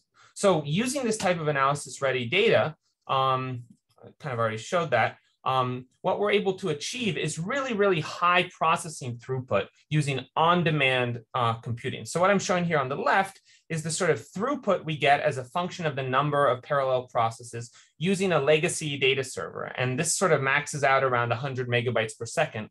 Whereas if we're putting data in a cloud type storage, either the, you know within the same cloud, such as Google Cloud, or uh, in Open Storage Network, which is a sort of edge cloud uh, uh, storage solution, um, we're getting data rates of four, six gigabytes per second, right? So orders of magnitude faster. And at that rate, you can really start to think about doing those, um, you know, petabyte scale problems. Um, so yeah, so to kind of summarize, these are the, what I see as the three pillars of cloud native science, analysis ready, cloud optimized data, data proximate computing, and on-demand uh, scalable distributed processing. Um, so I would love to be just doing cloud native science all the time. Um, but uh, unfortunately, there's some challenges that are preventing us from really sort of realizing this vision and fully moving into this. Uh, so, you know, Pangeo has built some great prototypes, but we have not managed to sort of migrate our whole field into this way of working. And I, I, the three major challenges I see are sort of legacy data formats and the challenges those pose to migrating workflows to the cloud, um, storage and egress costs, which are, uh, you know, institutions are right, rightfully worried about, and more generally, just the funding models of who, who pays for this and who can access it. Um, so in terms of legacy data formats, um, the, the, the, problem, the problem here we've discovered is a lot of our traditional scientific data formats, such as HDF, FITS, roots, root, are not necessarily optimized for efficient access on cloud object storage. Um, we do have some new formats, such as Parquet or Zarr, that are great on the cloud, but those aren't the formats that are generally distributed by data providers. And so we have this choice. Do we either reformat our data into some new weird format that no one trusts, uh, or do we try to re-engineer the legacy formats? Um, this is a, a, a, kind of a big technical challenge. We're working on this in this project called Pangeo Forge, which is designed to sort of do data pipelines. Um, so if you're looking to move some data into the cloud uh, in a cloud optimized format, you know, I would encourage you to check this out and we'd love to work with you on this. Um, the other challenge is that uh, storage in the cloud is really expensive, actually. So to store a petabyte of data in S3 for a year, it costs a quarter million dollars. And just downloading that data out would, could cost $50,000. So that's a huge, you know, people are really afraid of getting locked in. Um, and uh, here I, I'm really excited by these new innovative storage solutions that are sort of cloud compatible, but live outside of the main cloud computing uh, uh, sources. So Open Storage Network is one example of these, and we've been working with Open Storage Network and are really excited about that. Also, just from a few days ago, this announcement from Cloudflare, um, the networking provider, that now they have a storage solution to compete with uh, Amazon S3 with no egress charges called Cloudflare R2. So I'm pretty sure this is going to be a game changer for scientific data in the cloud as well. And then finally, we need to sort of figure out a funding model, right? Um, I just heard, a, just before me, there was a great talk uh, of, about the Hopkins HPC Center and what a, what a um, big impact it, it's had. Um, and I think it makes, you know, it makes sense, you know, you have a mandate to provide infrastructure for your institution and the people who work there. And there's a clear funding model for that. Uh, but since cloud inf infrastructure can kind of scale to accommodate anyone, there's no natural boundary to, you know, what, what you know, a, a, cloud computing resource can support. I, we could scale up our clusters to support thousands of users, the entire field. So who's supposed to pay at that point? So my hope is that we can sort of come up with some sort of franchisable situation where different groups, different institutions can sort of add capacity to a sort of federation of computing and data resources that are all networked together um, and provide high throughput uh, interoperability between different sites, including traditional HPC centers. Uh, and I, so, I know that Alex and other people here have been working towards this, this type of vision for a sort of data fabric for science. Um, so I think I've almost gone over time. I'll stop there. Uh, if you want to learn more about our project, we have a website, we have a forum, we're pretty active on uh, GitHub and Twitter, and feel free to you know reach out and contact me directly as well if you have any questions. So thanks for the opportunity, and I'll stop there. Thanks. Yeah, so please submit questions both to the either to the Q&A or to the chat. Thank you very much, Ryan, for the fantastic talk. So.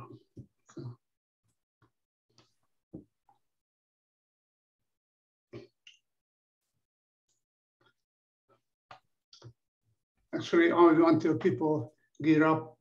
I have a question. So you primarily worked in the Google Cloud, right? Or so how how much different would be to scale the, or transfer the whole environment, for example, to Amazon or to Azure?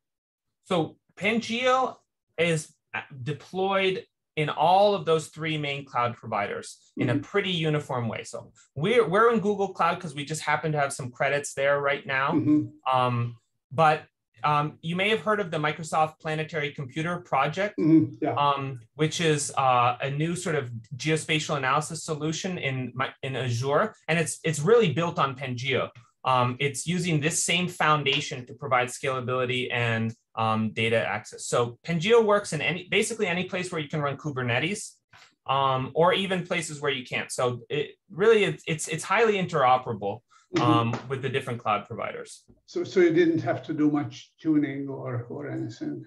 I think uh, Microsoft put, you know, it, it depends completely on the Kubernetes performance, right? So Google's Kubernetes is the best because they invented mm-hmm. Kubernetes. Right, right. Amazon is not bad. Azure has been playing catch up, but um, you know, this is the standard interface that I think our, all these applications want to use to mm-hmm.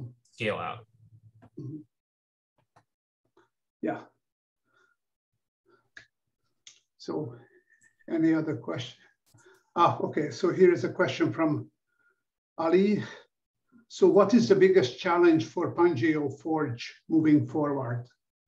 Well, Pangeo Forge hasn't really launched yet. It's kind of uh, still, you know, we're still developing it heavily. Um, the goal there is to build a sort of uh, crowdsourced data library, right? So we don't have to manually ingest data but where users, science users can actually contribute these recipes for data that they want to have ingested and possibly transcoded or, or homogenized. And then the, the, the, the platform will go do that and stage the data and set it up and make it public. And so the challenge for Pangeo Forge is can we achieve critical mass where we're going to actually have this really active sort of uh, dynamic uh, community of contributors? Um, I think you know it remains to be seen. We hope so, but whether people will really use it depends on how well it works and whether it meets their needs. Mm-hmm. So another question is from Jaime. How do you see the government cloud use? There is a lots of talk at the NSF, for example. Yeah, and I, I, I would like in my world, I guess NOAA is really been real. NOAA and NASA are both really proactively moving towards cloud. Um, I've seen a big difference between, you know, NASA is rebuilding their entire data, Earth science data platform in AWS. And NOAA is doing some similar things. But I think my impression is that they're doing a lot of things to support their operations in cloud, but they haven't necessarily worked out the piece of how are science users indi- you know, individual research groups supposed to interact with cloud. So if I'm a NASA employee, you know, I'm, I am part of a project, okay, we're going to use AWS to process our data. But what about the NASA funded scientists or even the non-funded scientists? How can they take advantage of cloud? Are, are we just going to use the cloud as a big, you know, FTP server and everyone just download it back to their computers? That would be a waste. So I think someone mm-hmm. really needs to advocate for the science users uh, rather than just what like the agency internal needs in terms of cloud. And Pangeo is trying to play that role as a sort of user facing organization. NSF needs to figure out um, how they're going to um, allocate cloud credits. So NSF has this program called Cloud Bank that is pretty exciting. Um, right now, it's kind of scoped just to the computer science directorate. Um, but I think it's much better for us to be negotiating with the cloud providers a, at a large scale rather than each PI just going and you know putting the cloud bill on their credit card. Um, but that's you know that requires quite high level coordination.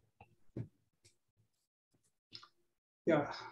So once again, thank you very much for this very dynamic, wonderful talk. And it was really showing us the journey we are doing Thank you very much, Ryan. Again. Thanks for the invitation. Thank, thank you. Thank you. So let me then introduce our next speaker, Dr. Janis Taube. And Janis and I have been collaborating for the last five years very closely on cancer immunotherapy. So Dr. Janis Taube is a professor of dermatology and pathology at the Johns Hopkins University School of Medicine and a member of the Johns Hopkins Kimmel Center. Her area of clinical expertise is dermatopathology. Dr. Taube serves as the director of the Division of Dermatopathology and as the assistant director of the Dermatoimmunology Laboratory at the School of Medicine. Dr. Taube received her undergraduate degree in engineering from Duke University. She earned her MD from Tulane University and her MSc in molecular medicine from the University College London. She completed her residency in pathology at Johns Hopkins where she also served as the chief resident before undertaking a dermatopathology fellowship at Stanford University. In 2009, Dr. Taube returned to Johns Hopkins for her certification in the melanoma clinic. And I would like to note that she has just been awarded the George W. Hambrick MD professorship in dermatology and, and our chair. Congratulations, Janis, and welcome to IDIES. So. Thank you. Thank you, Alex. It's a, it's a pleasure to be here and to share with everyone some of the work that Alex and I have, have been doing. Our main focus has really been on biomarker development uh, for immunotherapeutic regimens. And, and together, um, we've built what we call the AstroPath platform. And so in full disclosure, um, we have relationships with Akoya Biosciences, and I'm going to be um, sharing images from, from their technology today. So in 2018, the Nobel Prize for Physiology or Medicine was awarded to uh, Doctors Allison and, and Honjo. And so previously there had been three pillars for cancer therapy, which we're all familiar with, you know, surgery, uh, radiation therapy, or some sort of anti-cancer drug like a, a chemotherapy or a, a targeted agent. And Allison and Honjo were awarded for describing immune checkpoint therapy, which is really rather than a direct assault on the tumor itself, like these other agents, um, it's an indirect way to um, hopefully eradicate your tumor. You galvanize the patient's immune system, which then secondarily goes on to kill the tumor. And so we still need biomarkers. There's been this remarkable success, and honestly, it's, it's revolutionized cancer therapy. And yet, the vast majority of patients still do not respond. So I work in melanoma and Merkel cell, and we're actually doing quite well with a, 40 to 50% patient response rate. But there's other tumor types that are on the order of 10% response rate, if at all. And so certainly if you're a cancer patient with limited time, the goal is to match the right patient to the right therapy early on because of that secondary effect as well, there's delayed responders. So sometimes it takes longer to get different patients' immune systems going before the immune system goes on to attack the tumor. So you have to have the confidence that you've matched the patient appropriately to the therapy to let them sit on the therapy uh, until that response gets going. A, a, similar scenario can be seen like the tumors uh, when the immune system invades sometimes look like they're swelling on radiology or growing. And so you can have uh, what we call pseudo progression, where it looks like tumors are growing before they regress. And a biomarker, again, could give the provider the confidence to leave the patient on the regimen. Um, you can even get new tumors developing on immunotherapy, which if that ever happened on chemotherapy, you would be pulled from the regimen immediately. But with immunotherapy, sometimes you're left on the regimen because sometimes these new tumors will blossom and then, then regress. There are so-called immune-related adverse events. At least that's what the pharma companies like to call them. You and I would call these side effects. And um, you can have these immune-mediated side effects. It's like an autoimmune disease where the body gets totally overactivated and it can lead to destruction of the thyroid or hepatitis. Um, actually, on the original trial, there were a, few patients who died uh, from, from a colitis as well. Um, because not everybody responds to a, a single regimen. Um, we're trying to come up with combinatorial regimens to see if that'll help. And having biomarkers could help um, rather than combining everything with everything empirically, uh, make a rational combination. And then, you know, last but certainly not least, these are incredibly costly therapies. So a single regimen of checkpoint inhibitor therapy costs over $100,000. And so to protect um, our the economies and also the healthcare system, again, it would be great to give these therapies to the patients who are most likely to get benefit from them. So we went to look at potential biomarker strategies. Um, we can look for proteins that are expressed within the tumor microenvironment, and we do that by something called immunohistochemistry. So we looked for um, a protein that was the target or the ligand for one of the targets. That was that was one potential way to do it. You can look in terms of what genes are expressed in the tumor and see if that would be a good way to pick out who's likely to respond. You can look at the underlying tumor genomics because ostensibly it's mutations in the tumor that leads to neoantigens being expressed that the immune system recognizes as non-self and can then go and, and help clear the tumor. There's also these um, emerging modality that, that we work in called multiplex immunohistochemistry or immunofluorescence. And that is mostly now a, a protein-based approach um, where you're looking at not a singular protein, but, but multiple expressions of proteins. And so when we were trying to figure out which direction we were going to go, we conducted a meta-analysis of the li existing literature. And so we identified over 100 records through PubMed. We also did a search of meeting abstracts. And we screened all those and we excluded the studies that weren't original, didn't have enough patients. Uh, we focused really on solid tumors. We left out leukemias and lymphomas. And in the end, we had 44 individual publications that were out there that included 55 different biomarker analyses. This was from more than 10 different tumor types and over 8,000 um, unique patient samples. And we essentially asked for each of these, what's the sensitivity and specificity? So for example, in this first chart, if you're looking at the underlying mutational burden in your tumor, in your melanoma patients, you know, assuming a given cut point, those above your threshold, how many of those were responders versus non-responders. And we use that to generate a sensitivity and a specificity for each uh, report that was out there. Each report then gets a single spot here on this receiver operating characteristic curve for those who don't work in, in diagnostics, uh, the ideal test is in this upper left-hand corner where you have 100% sensitivity as well as specificity. And so, for example, these are all the studies that were out there that were looking at the protein target of a number of these drugs. And this spot or the dot size for each of the studies is proportionate to the number of patients that were enrolled. And so if you add all the other modalities on, um, these are the, the different spots. For example, the tumor mutation burden that we talked about is now shown in red.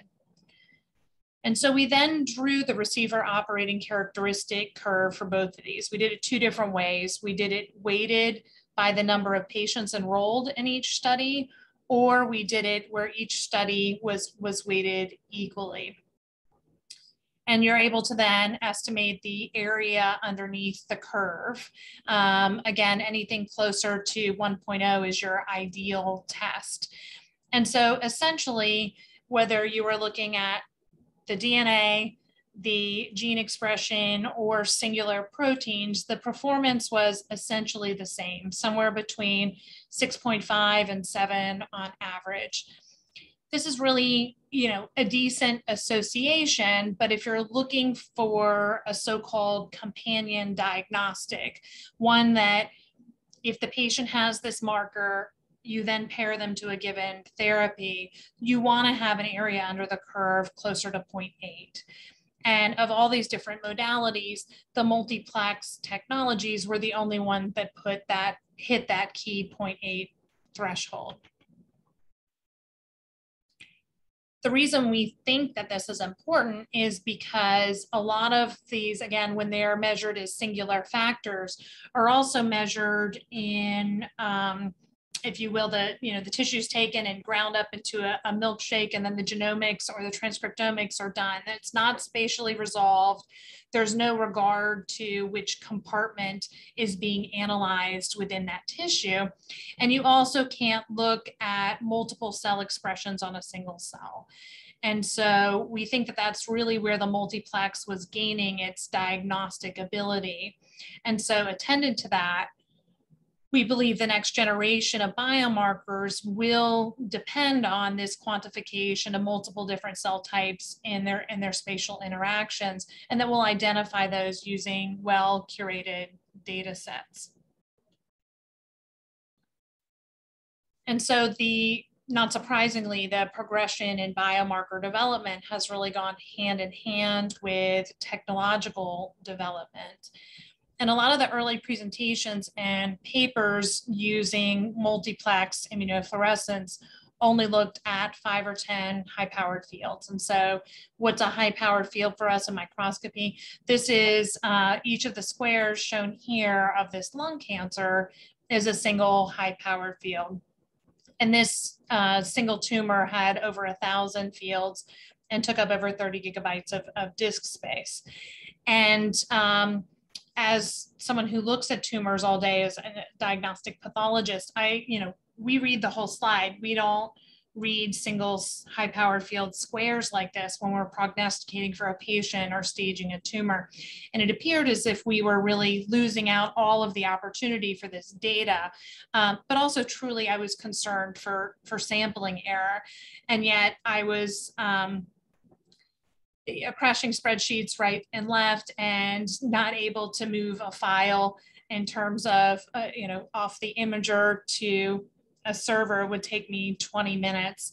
And I reached out to some of my mentors at, at the Cancer Center who thankfully knew Alex.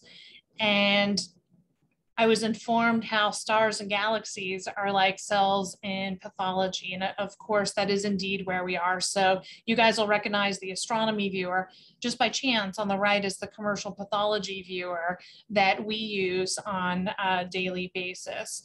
And so similar functionality, you know, we're organizing multicolored data, we're segmenting images, we're performing spatial statistics. And so this is one of the examples of an image that has been so-called phenotyped. Um, each of the cells in this image have been assigned a lineage. And you can see that obviously cell quantification would be facilitated as well as distance metrics between cell types. Um, one of the functionalities that had not yet been studied with these technologies was whether you could reproducibly look at intensity on individual cells. Functionally, we think this is really important. Cells express proteins at different levels, and it can tell you about the state of a cell. It can tell you when a cell is just coming in, an immune cell, and starting to attack tumor versus once the, the attack is over and the cell is so-called exhausted, that can all be measured if you can actually measure intensity.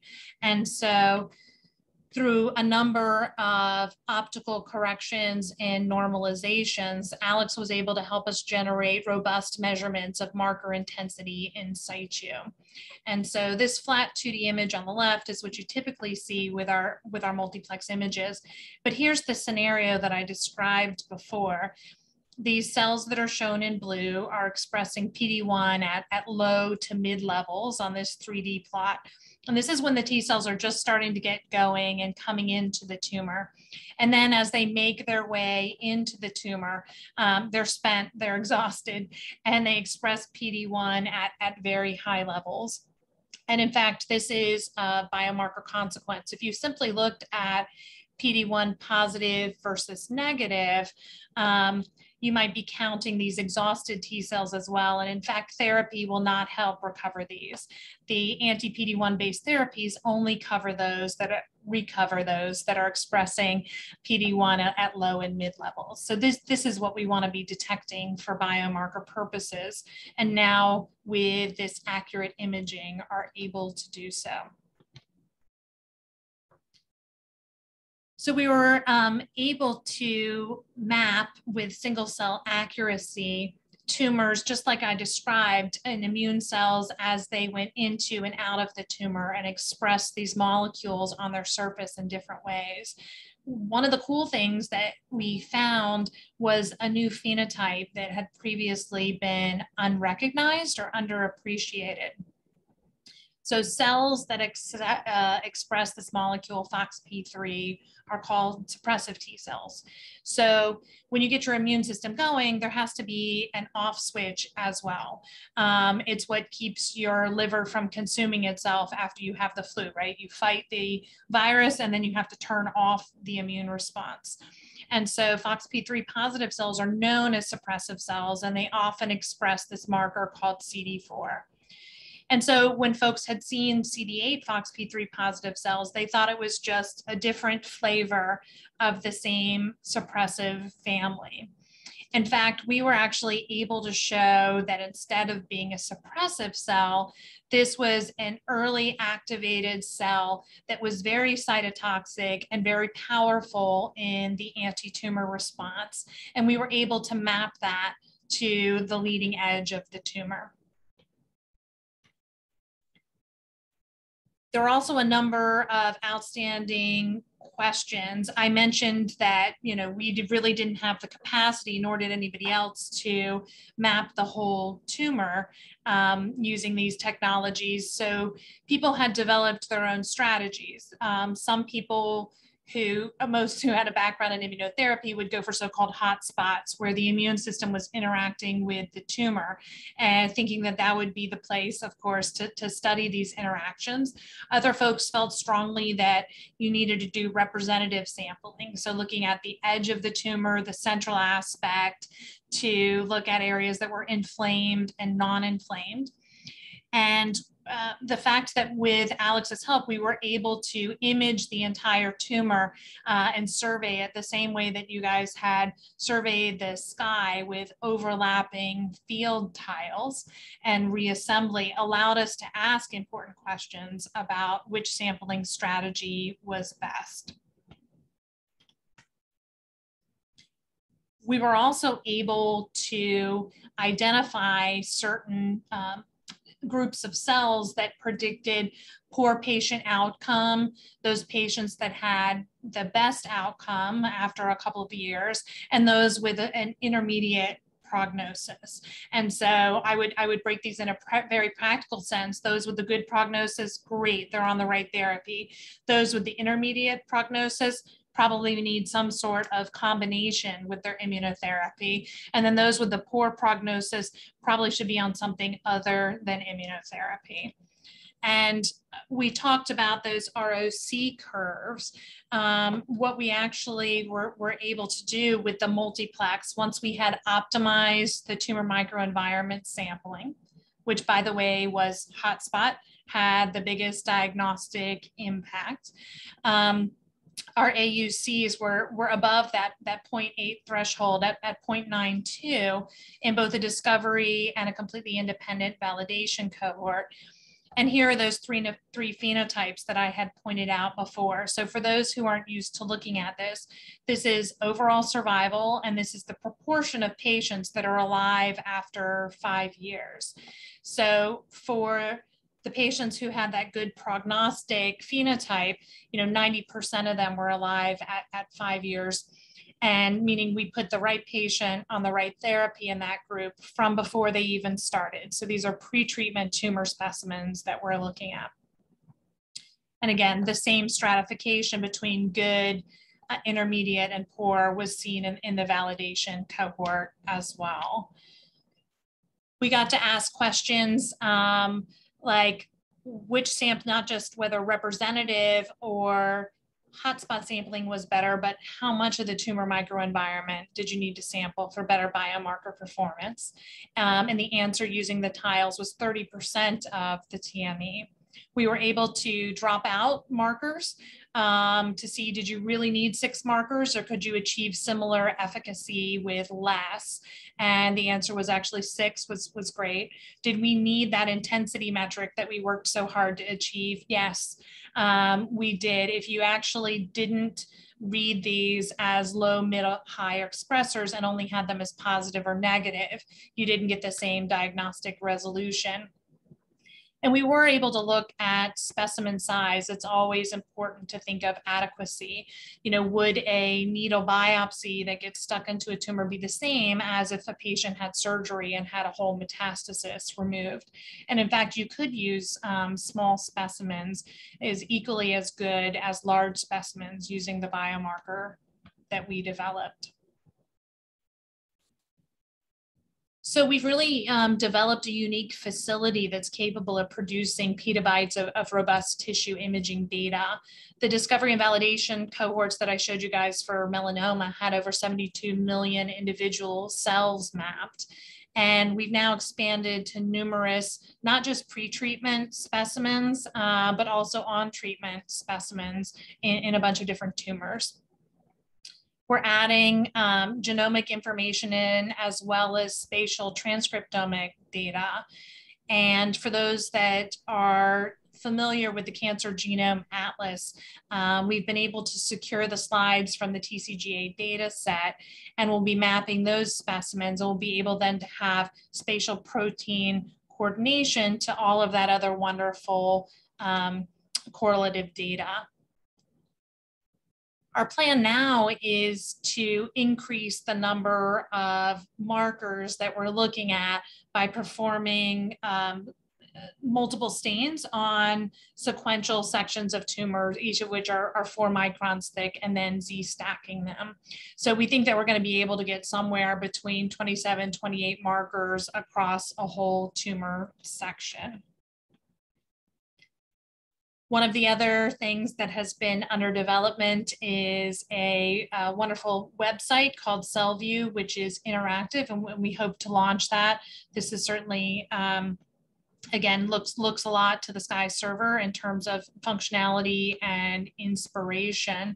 Um, here's just a still image from that website. This is a, a, tumor that's been treated by immunotherapy and this this blue line is where the tumor used to be uh, the green line is where the, the tumor is now. So you can see maybe, you know, two thirds of the tumor has regressed.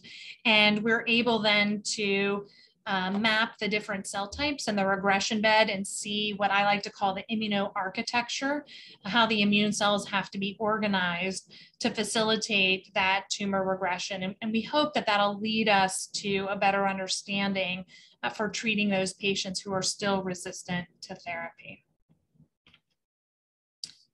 And with that, I would like to um, thank everyone, especially a, a, number of the members of the IDIES team that I probably don't get to, to thank enough and who are valuable contributors to this work.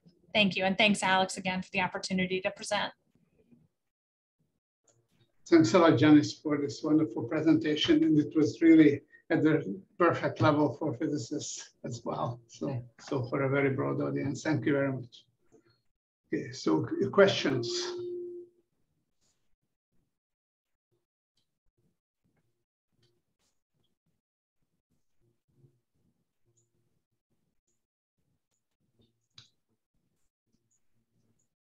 So while people type, so what would be the next science fiction like goal that you would like to see happen? Um, we've we've talked about some of these. Um, I think the idea would be to really integrate the genomic and transcriptomic features um, in such a way that we're able to map those across uh, an entire tumor section. We can certainly do them, again, singular fields, so you have uh, protein expression in, in one broad axis, um, but a, a low level of numbers. And right now, transcriptomics is a very high level of um, transcripts studied for a very small focus, but it, it, would be incredible to be able to broaden that um, and to be able to link which cells those, those transcriptomics are, are coming from. I think another wonderful thing to do would be able to um, map tumors longitudinally as they progress. Um, I think we'd get a lot of insights into how tumors avoid the immune system. And, and to do that in, in a meaningful number of patients and in tumor types would be um, really a, game changer for the field. Yeah. So thank you very much, Janis, again for the wonderful talk. So thank you. So,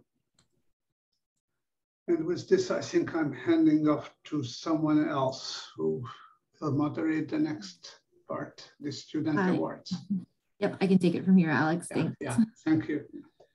All right, good afternoon, everyone. Um, I'm Tara Engel. I'm the administrative manager for IDIES. Um, and one of the programs I've really enjoyed helping IDIES bring to fruition um, is the Student Summer Fellowship Program, which offers or invites undergraduate students at Hopkins to submit proposals for a 10 week research project over the summer in which they uh, partner with one of our IDIES faculty members um, and design a data science focused project. Um, and so today we have um, two of our three 2021 awardees um, to share a little bit about their projects from this past summer. So starting things for us today is Jaxon Wu. Um, he's studying history of science, medicine, and technology. Um, and his mentors this summer were Jonathan Weiner and Chintan uh, Pandya from the Bloomberg School of Public Health. So with that, I will hand it over to Jaxon. Thank you, Tara. I'm just going to share a screen here. Awesome.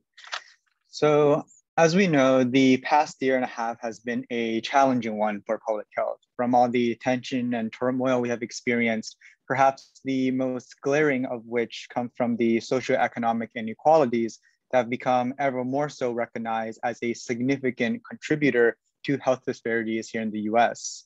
To improve health equity at the individual and population level, the healthcare sector must play a pivotal role in identifying and addressing the social risk factors and needs of individuals. And here is where we come in. Our project, uh, Humanizing Our Data, is the first step towards developing a social needs measure that enhances risk stratification of a population to further advance state-of-the-art predictive modeling tools for risk, high-risk case detection. The purpose of our work is to identify the prevalence of the social determinants of health, SDOH needs in Medicaid population covered by the Johns Hopkins healthcare community, captured in both administrative claims and electronic health record data, and to assess the impact of these individual SDOH needs on healthcare utilization and expenditures. Since the Medicaid population, that is over 75 million, of America's poorest and most vulnerable have significantly higher SDOH needs compared to other patient populations, it is unsurprising that a growing number of states are implementing tools to capture SDOH in their Medicaid population while also developing and incentivizing interventions to address some of these SDOH needs, including uh, covering community-based services and integrating SDOH in performance measurement and managed care rate setting tools. However, there are ongoing gaps and challenges in identifying the vulnerable or high risk, high risk population with SDOH needs using these existing standardizations and what constitutes SDOH and how to classify these factors, our project uses the relatively more accepted framework of International Classification of Disease, version 10 Z codes, also known as ICD-10 Z codes, to identify SDOH needs in patients. Hence, to uh, comparing the prevalence of the use of ICD-10 Z codes to identify SDOH needs in the Medicaid population in claims versus EHR data is important because it gives us the opportunity to develop a more consistent way to identify high risk target population for interventions. And on top of that, understanding the overlap of these social needs captured in each data source may enable us to more effectively identify high risk population with specific social needs, leveraging both the data sources for population health management intervention, as well as risk adjustment activities. So with all this in mind, our study has two key aims. First, uh, we sought to explore the prevalence of uh, ICD-10 social needs and administrative claims and EHR data of a Medicaid population. And second, we aim to assess the impact of these ICD-10 social needs on healthcare utilization, narrowly defined as the amount of emergency department visits and inpatient hospitalizations, as well as healthcare expenditures captured through total healthcare costs, pharmacy, as well as medical costs of our Medicaid population. So how did we achieve our goals? Um, upon importing the raw data from Priority Partners' is continually enrolled Medicaid population claims and EHR um, data sets from January 2018 to 2019, we found that our baseline study populations was 305,000 with continuous enrollment um, throughout the two years. Um, we had a EHR uh, data set about 449,000 patients. Enrollees who were older than 65 were excluded due to the unavailability of their Medicare claims data. Moreover, enrollees that did not have any outpatient visits in 2018 were also excluded as they would not have any diagnosis codes in claims uh, to assess their health status or social needs. Um, as you can see, the final study sample here was around 39,000. So beginning with our main independent variables of interest, the social needs marker we created was a binary variable suggesting the presence or absence of any of the five social needs domains captured in ICD-10 uh, Z codes from our 2018 claims dataset. Each of these five social needs domains were separate, uh, had a separate marker um, with the yes, no indicator suggesting the presence or absence of any corresponding mapped ICD-10 codes to the 13 social needs subdomains. A count variable of zero, one, or more than one was also created to identify the total number of social needs domains present for an individual. Each of the social needs variables were created from the 2018 data set separately for claims EHR and a combined claims EHR data set um, we created ourselves. And now the dependent variables were derived from claims data in years 2018 and 2019, including zero or more than one um, emergency department visits or zero more than or more than or equal to one hospitalization uh, counts. So cost variables include total cost, medical cost, and pharmacy costs, as I discussed. And due to the high skewness, cost variables were Winsorized at the top 1% to avoid undue impact of outliers on our estimates. So aside from the social needs variables, our other covariates included age, sex, hospital dominant morbidity count, ADG count, and ACG risk scores um, that were extracted and tidied from the respective ACG claims and EHR outputs. These covariates would be derived from the 2018 claims dataset only. So in our retrospective cohort study, we defined the social needs marker as a documentation of ICD-10 codes in any of the five social needs domains. And the impact of these social needs markers were compared across uh, two diagnosis-based, um, that is the demographic as well as Hopkins's proprietary diagnostic predictive model scores, um, uh, models using concurrent and prospective predictive models for any occurrence of emergency department visits or hospitalizations, as well as total medical and pharmacy costs. Uh, to achieve our first aim, our patient population and their respective social needs domains were analyzed across three data sets, claims and EHRs as we uh, received from our original data source, as well as a combined claims plus EHR data set created ourselves.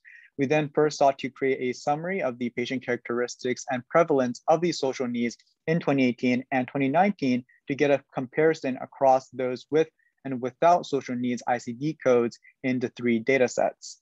Next, uh, concurrent and prospective models for assessing the impact of these social needs um, in both years on healthcare utilization and healthcare costs were created using logistic regression to predict hospitalization and DD visits, as well as linear models for total pharmacy as well as medical costs. After controlling for covariates in 2018, regression models were finally compared across the three data sources of ICD-10 codes for each of the healthcare utilization and cost outcomes derived from claims data in 2018 and 2019. And moreover, um, we found the top 10 ICD-10 codes based on frequency and the top five codes within each of the five domain. So a snippet of what we found um, is that the prevalence of social needs markers in our study population increased after combining data sources, uh, resulting in 11%, 13%, and 18% of the patients with documented social need ICD codes across claims EHR and claims EHR respectively. Another significant finding is that our uh, combined data set of claims and EHR um, captures 51% of those of African American descent, much higher than the typical rate found in the American population. Um, also, as well, adding um, social needs variables to demographic only models improve predictions for all utilization and cost variables. In the um, diagnostic predictive uh, risk model, social needs marginally improve the outcome predictions um, so no significant improvement in prediction we're seeing across the three data source of the social needs markers. Um, so to kind of wrap up here, we demonstrated the feasibility of using EHR and claims to systematically capture social needs, which could modestly augment predictive models of healthcare utilization and costs in non-elderly Medicaid population and enable managed care organizations to undertake risk assessment and adjustment to develop uh, effective population health interventions and policies. The next stage of my project will uh, focus on including unstructured data such as free text electronic health records, as well as Medicare slash commercially insured populations. Moreover, we will be looking to add geo-derived information so we can identify patients who live in neighborhoods with high risk of SDOH issues such as food deserts and compare how neighborhood issues match to individual issues recorded in DEHR, thus assessing how effectively SDOH needs are captured. Results from these projects will be used to help screen and identify patients with unmet social needs, which can then be used by healthcare organizations target populations positioned to benefit from specific clinical population and policy interventions. And with that, I'd like to thank IDIES and TARF again for this amazing opportunity to engage in population health analytics with CFIT. And uh, thank you everyone for listening. Great, thanks so much, Jaxon. That was a great presentation. Um, if anyone has any quick questions for Jaxon, if you just want to put them in the chat. Um, I guess while we're waiting for to see if anyone has questions, um, Jaxon, what was your you know biggest takeaway from doing this project this summer? I think um, my biggest takeaway uh, with this project technically was the amount of data cleaning and tidying needed to be done, even though we were working with uh, structured EHR data, um, getting the data with like millions millions of variables, finding and extracting what was important um, may sound intuitive, but the actual uh, work needed to get done, as well as the domain knowledge to understand what these data uh, data points are trying to tell us relating to our patients um, was was a learning curve, but also a very rewarding one in the end. Good. All right. Okay, well, I don't see any questions, so thank you again. Um, and we'll turn it over to um, our other awardee who's here today, uh, Shengwei Zhang. Uh, he's studying applied mathematics and statistics, and his mentors for his projects were uh, Tinglong Dai in Carey Business School and Kimia Ghobadi in the Whiting School of Engineering. So with that, Shengwei, I'll hand it over to you. Thank you, Tara. Uh, I'm gonna share my screen. okay. Uh, so hi everyone, uh, my name is Shengwei Zhang. I am a undergraduate student at Hopkins affiliated with Malone Center for Engineering in Healthcare. Uh, today I'd like to share a series of research projects I have been working on in operating room scheduling uh, optimization. Specifically, we developed a OR scheduling tool using data-driven approach. And part of this project was done through the IDIES Summer Student Fellowship.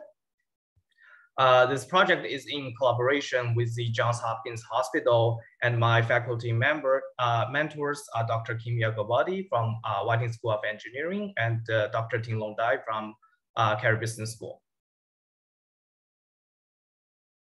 Okay, so first I want to give some context of this problem. Uh, operating rooms are one of the main resources in hospitals, and any disruption in their workflow can have a cascade effect on the rest of hospital operations. There has been a uh, growing interest in optimizing OR schedule in hospital management. Uh, however, many of those work only consider a portion of the perioperative process, and one underdeveloped area is designing a OR scheduling system that effectively improves the overall efficiency. So the complexities in designing such a system come, come from the various perioperative input. There are three types of inputs. Uh, the first one is the surgical features from patient's EHR data, which give the OR schedulers the basic information of the case, uh, patient, and procedure. The second input is the OR administrative rules, which put some constraints on the surgeon using the OR in certain manner.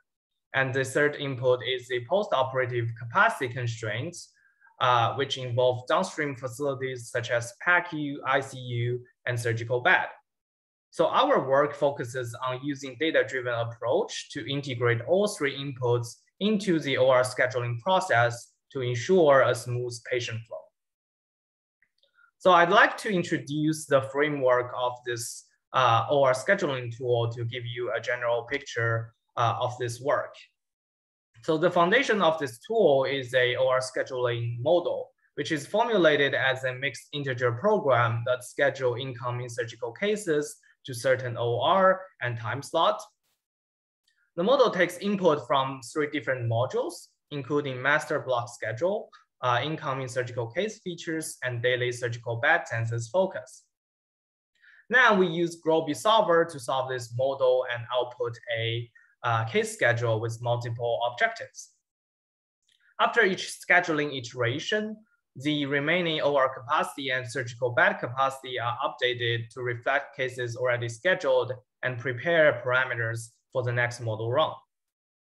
Further, we define some metrics to evaluate how good the schedule is. And this presentation will focus on how we optimize the three input modules using data-driven approaches, such as machine learning and survival analysis. So let's first discuss the input modules on pre-operative uh, information. The first input is the pre-specified OR information queried from uh, master block schedule, including the OR operating hours and OR in-block surgical service. So basically the in-block surgical service tells us which OR on which day is scheduled for which OR service. The second input is the surgical case features queried from hospital Epic data warehouse, which include case surgical service, uh, time window, patient class, and surgeon estimated case duration. One thing we observed from this data is that surgeon estimate dura duration is usually not accurate, while this input is crucial to our, uh, our scheduling model. So we are motivated to query more patient-related and procedure-related features and build a predictive model for this input. We trained the prediction model with the 12 months historical surgical encounters. We developed two types of candidate models, uh, all-inclusive model that train on all available features and service-specific model that trains individual models for each OR service. For each model type, we applied three machine learning algorithms, uh, random forest, XGBoosting, and linear regression. Then we test the candidate models on the test set and compare the result with the surgeon's estimation. The evaluation metrics are R squared, uh, mean absolute percent error, and the accuracy.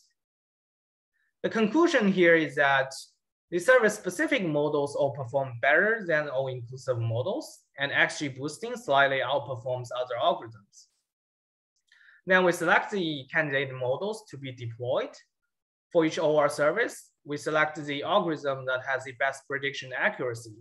And in this manner, we are able to improve the prediction accuracy for 19 OR services out of 44 compared to surgeon's estimation. Next, we, uh, we discuss the input modules on the surgical census focus. So surgical inpatients are usually admitted to downstream surgical beds after surgery for several days of medical care before getting discharged. Therefore, the surgical census level will put reverse constraints on the OR scheduling process, and we are motivated to develop a predictive model that pro provides dynamically uh, changing uh, daily surgical census focused based on the current scheduled case volume. So in order to predict the daily surgical census, we can decompose it to the individual contributions. We can predict the individual uh, patient's length of stay in the hospital. And to predict the patient length of stay, we can predict the patient discharge probability per day. So this problem falls into the domain of survival analysis. Uh, survival analysis is a time to event method. And in our setting, uh, the event we would like to predict is patient being discharged from the hospital. This model can give a discharge probability per day, and one minus that probability is the uh, patient's census contribution per day. So we train the model with 12 months historical elective surgeries and their length of stay. Two survival anal analysis models are generated, one using the OR service as the predictor and the other using OR procedure. The output of these two models are two census contribution files uh, for each service and procedure. As you can see in this table, uh, for service cardiac surgery, the length of stay index uh, range from 0 to 14, and the census contribution monotonically decreasing from 1 to 0. And the table for uh, procedure muscle biopsy is similar.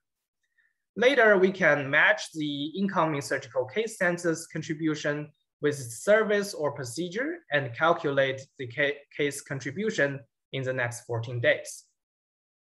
We apply a moving window method to validate this model. We did 26 iterations and each iteration tests on two week data. As you can see on the right, the actual census are all in the 95% uh, prediction interval in each iteration.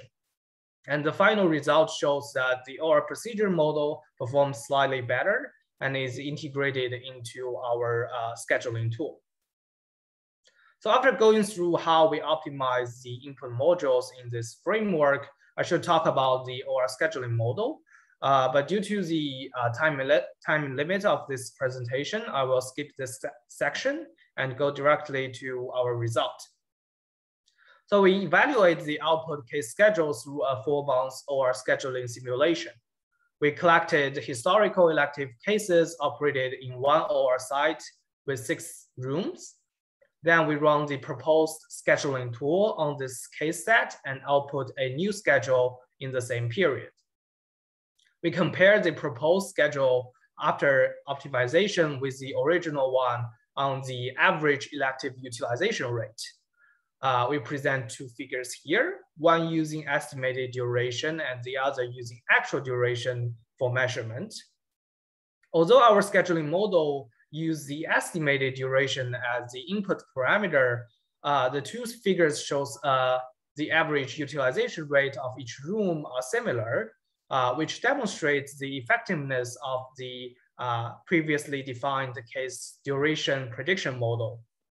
And in both figures, the highlight is that the proposed schedule increased the average utilization by around 14%.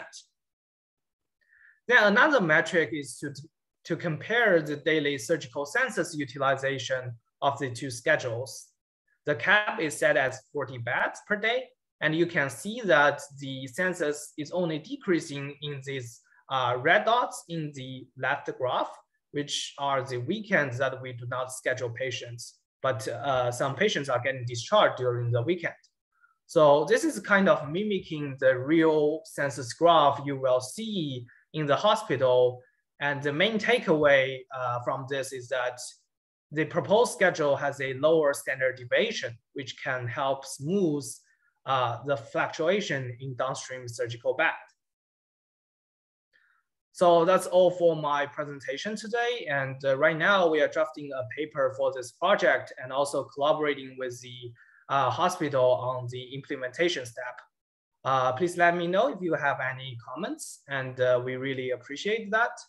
Uh, thank you so much for listening and thank you to IDIES for this opportunity to uh, present my work.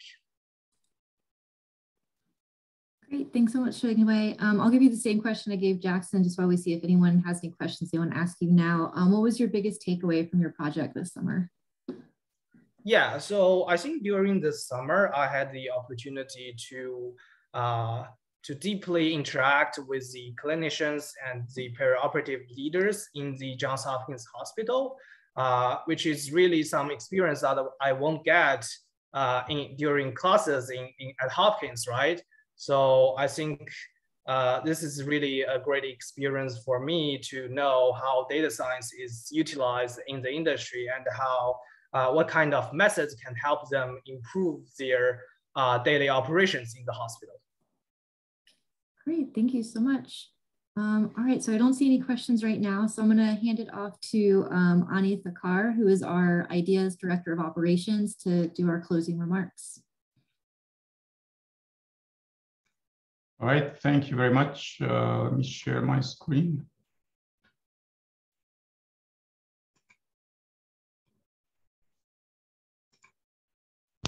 Okay, can you see that? Yep, sorry. Okay. So, um, well, I think everybody must be numb by now, uh, but I just wanted to say a few words about what we've learned and uh, where we go from here. So I think some of the emerging themes were uh, not no surprise. Um, machine learning um, was is ubiquitous in data science. Uh, cloud computing for scientific data and server-side analysis is other big uh, takeaways, I think. Uh, we've seen exciting work uh, uh, in terms of machine learning with deep learning, active learning, as well as predictive modeling. Um, we've seen everything from supernovae to nanotech, quantum computing, cancer immunotherapy, so broad range of different types of application domains. And I, I hope there's been some healthy cross-pollination um, and people can get some ideas from what, what they saw over the past two days. We also uh, have seen some diverse use cases for SciServer, uh, which uh, I think can become an ex excellent stepping stone uh, to using commercial clouds. Um, I think we could do some more in terms of how we facilitate elastic scaling. And I think it's clear that IDIES partnerships uh, are increasing across disciplines and technologies. So that's a really good sign. Uh, let me just take a quick minute to, uh, to introduce and recognize the core team that keeps IDIES ticking on a daily basis. And these two clouds here, basically one is the developer developers cloud and the other is the IT team. And as you can see, our admin manager, Tara, is just floating above the two clouds, effortlessly managing everything. Um, so in uh, for in the development team, there's uh, quite a, a, large team we have, uh, with Gerard Lemson being uh, in charge of the science uh, direction for IDIES uh, and for SciServer. I'm, I'm in charge of operations. we have a communication specialist, Jordan. we have developers uh, who specialize in different aspects uh, of uh, the applications that we provide services for. So there's Manu, there's Dimitri, Eric. Um, we have a machine learning specialist, Adi. Um, Jaywan is uh, uh, specializes in user interfaces and uh, outreach um, and other aspects. We have some young, bright postdocs, Heshi and Maggie, uh, we also have Steve, who is working on the medical campus for us uh, remotely, Steve, Steve Handy. Uh, we have a database group uh, with a database expert, uh, our resident database expert, Sue Werner.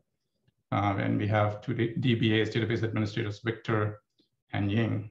And in the IT group led by Brian, we have Lance, Jason, and Kyle who keep everything running. And they're the people who usually answer questions to IDIES, help. Uh, just quickly looking at the year in review, it's been a difficult year. Uh, we survived COVID relatively unscathed. We lost a dear colleague, Jan Vandenberg, to cancer. I'll say a little bit more at the end. Um, the IDIES family had a new baby. Um, Server made some new strides with installations in different types of application domains from NIST, Max Planck, National Astronomical Observatory of Japan, PMAP here at Hopkins in the School of Medicine. Uh, we introduced the Robbins Awards and the Student Fellowship Awards gathered steam this over the past year. SDSS 5, the latest instance of the Sloan Digital Sky Survey got underway. And IDIES was a co-sponsor at the MedHacks uh, 2021 hackathon, which is, I think, the largest medical hackathon. And thanks to some of the people who had to work very hard for this, Maggie, Jordan, Heshi, and uh, um, sorry, I misspelled the name here, and um, Herod. Uh, looking forward, um, there's still quite a bit of work to do in increasing our profile within Hopkins for both IDIES and SciServer. We do have several new people joining soon, so these are exciting developments. We have developers, Michael, Amir, um, and soon a UI specialist, we hope. We have a communication specialist joining soon, Kate Stevens. Um, and then we are going to be hiring a few more IT people. Um, machine learning and the artificial intelligence initiative will be their, our increasing focus in the near future. And I, I hope, we said this last year too, but this time we really mean it. Next year we'll have, we'll be able to go back to having the symposium in person. Um, so let me just uh, say thanks to uh, all the speakers the poster presenters, all, all the attendees. Um, thank you very much. And of course, the organizers. Um, this year, Tara and Jordan had to do it all by themselves, and they did a wonderful job. So thanks again, Tara and Jordan. And I'd like to end on a personal note. Once again, um, we lost Jan Vandenberg, our systems architect over the past year, and he was like a big brother to us uh, both uh, figuratively and literally. He used to watch over our services and be the first one to notify us if anything went down. And we learned so much from him, and he was always a great inspiration, and we miss him every single day. So I'll end with that, and hopefully we'll see you in person next year. Thanks, Thanks everyone. Thank you very much. Uh, to Jordan, do you want to wrap things up or that's it? Yeah, no, I think you did a great job of closing. Thanks for coming, everybody. Thanks to Tara. Uh, I did a little bit of work. She did probably 90% of the work. And you did a great job, Tara. Thank you. Uh, and thanks for coming. And we hope to see you in person next year, everybody. Thanks, everyone. Thanks, uh, Jordan and Ani.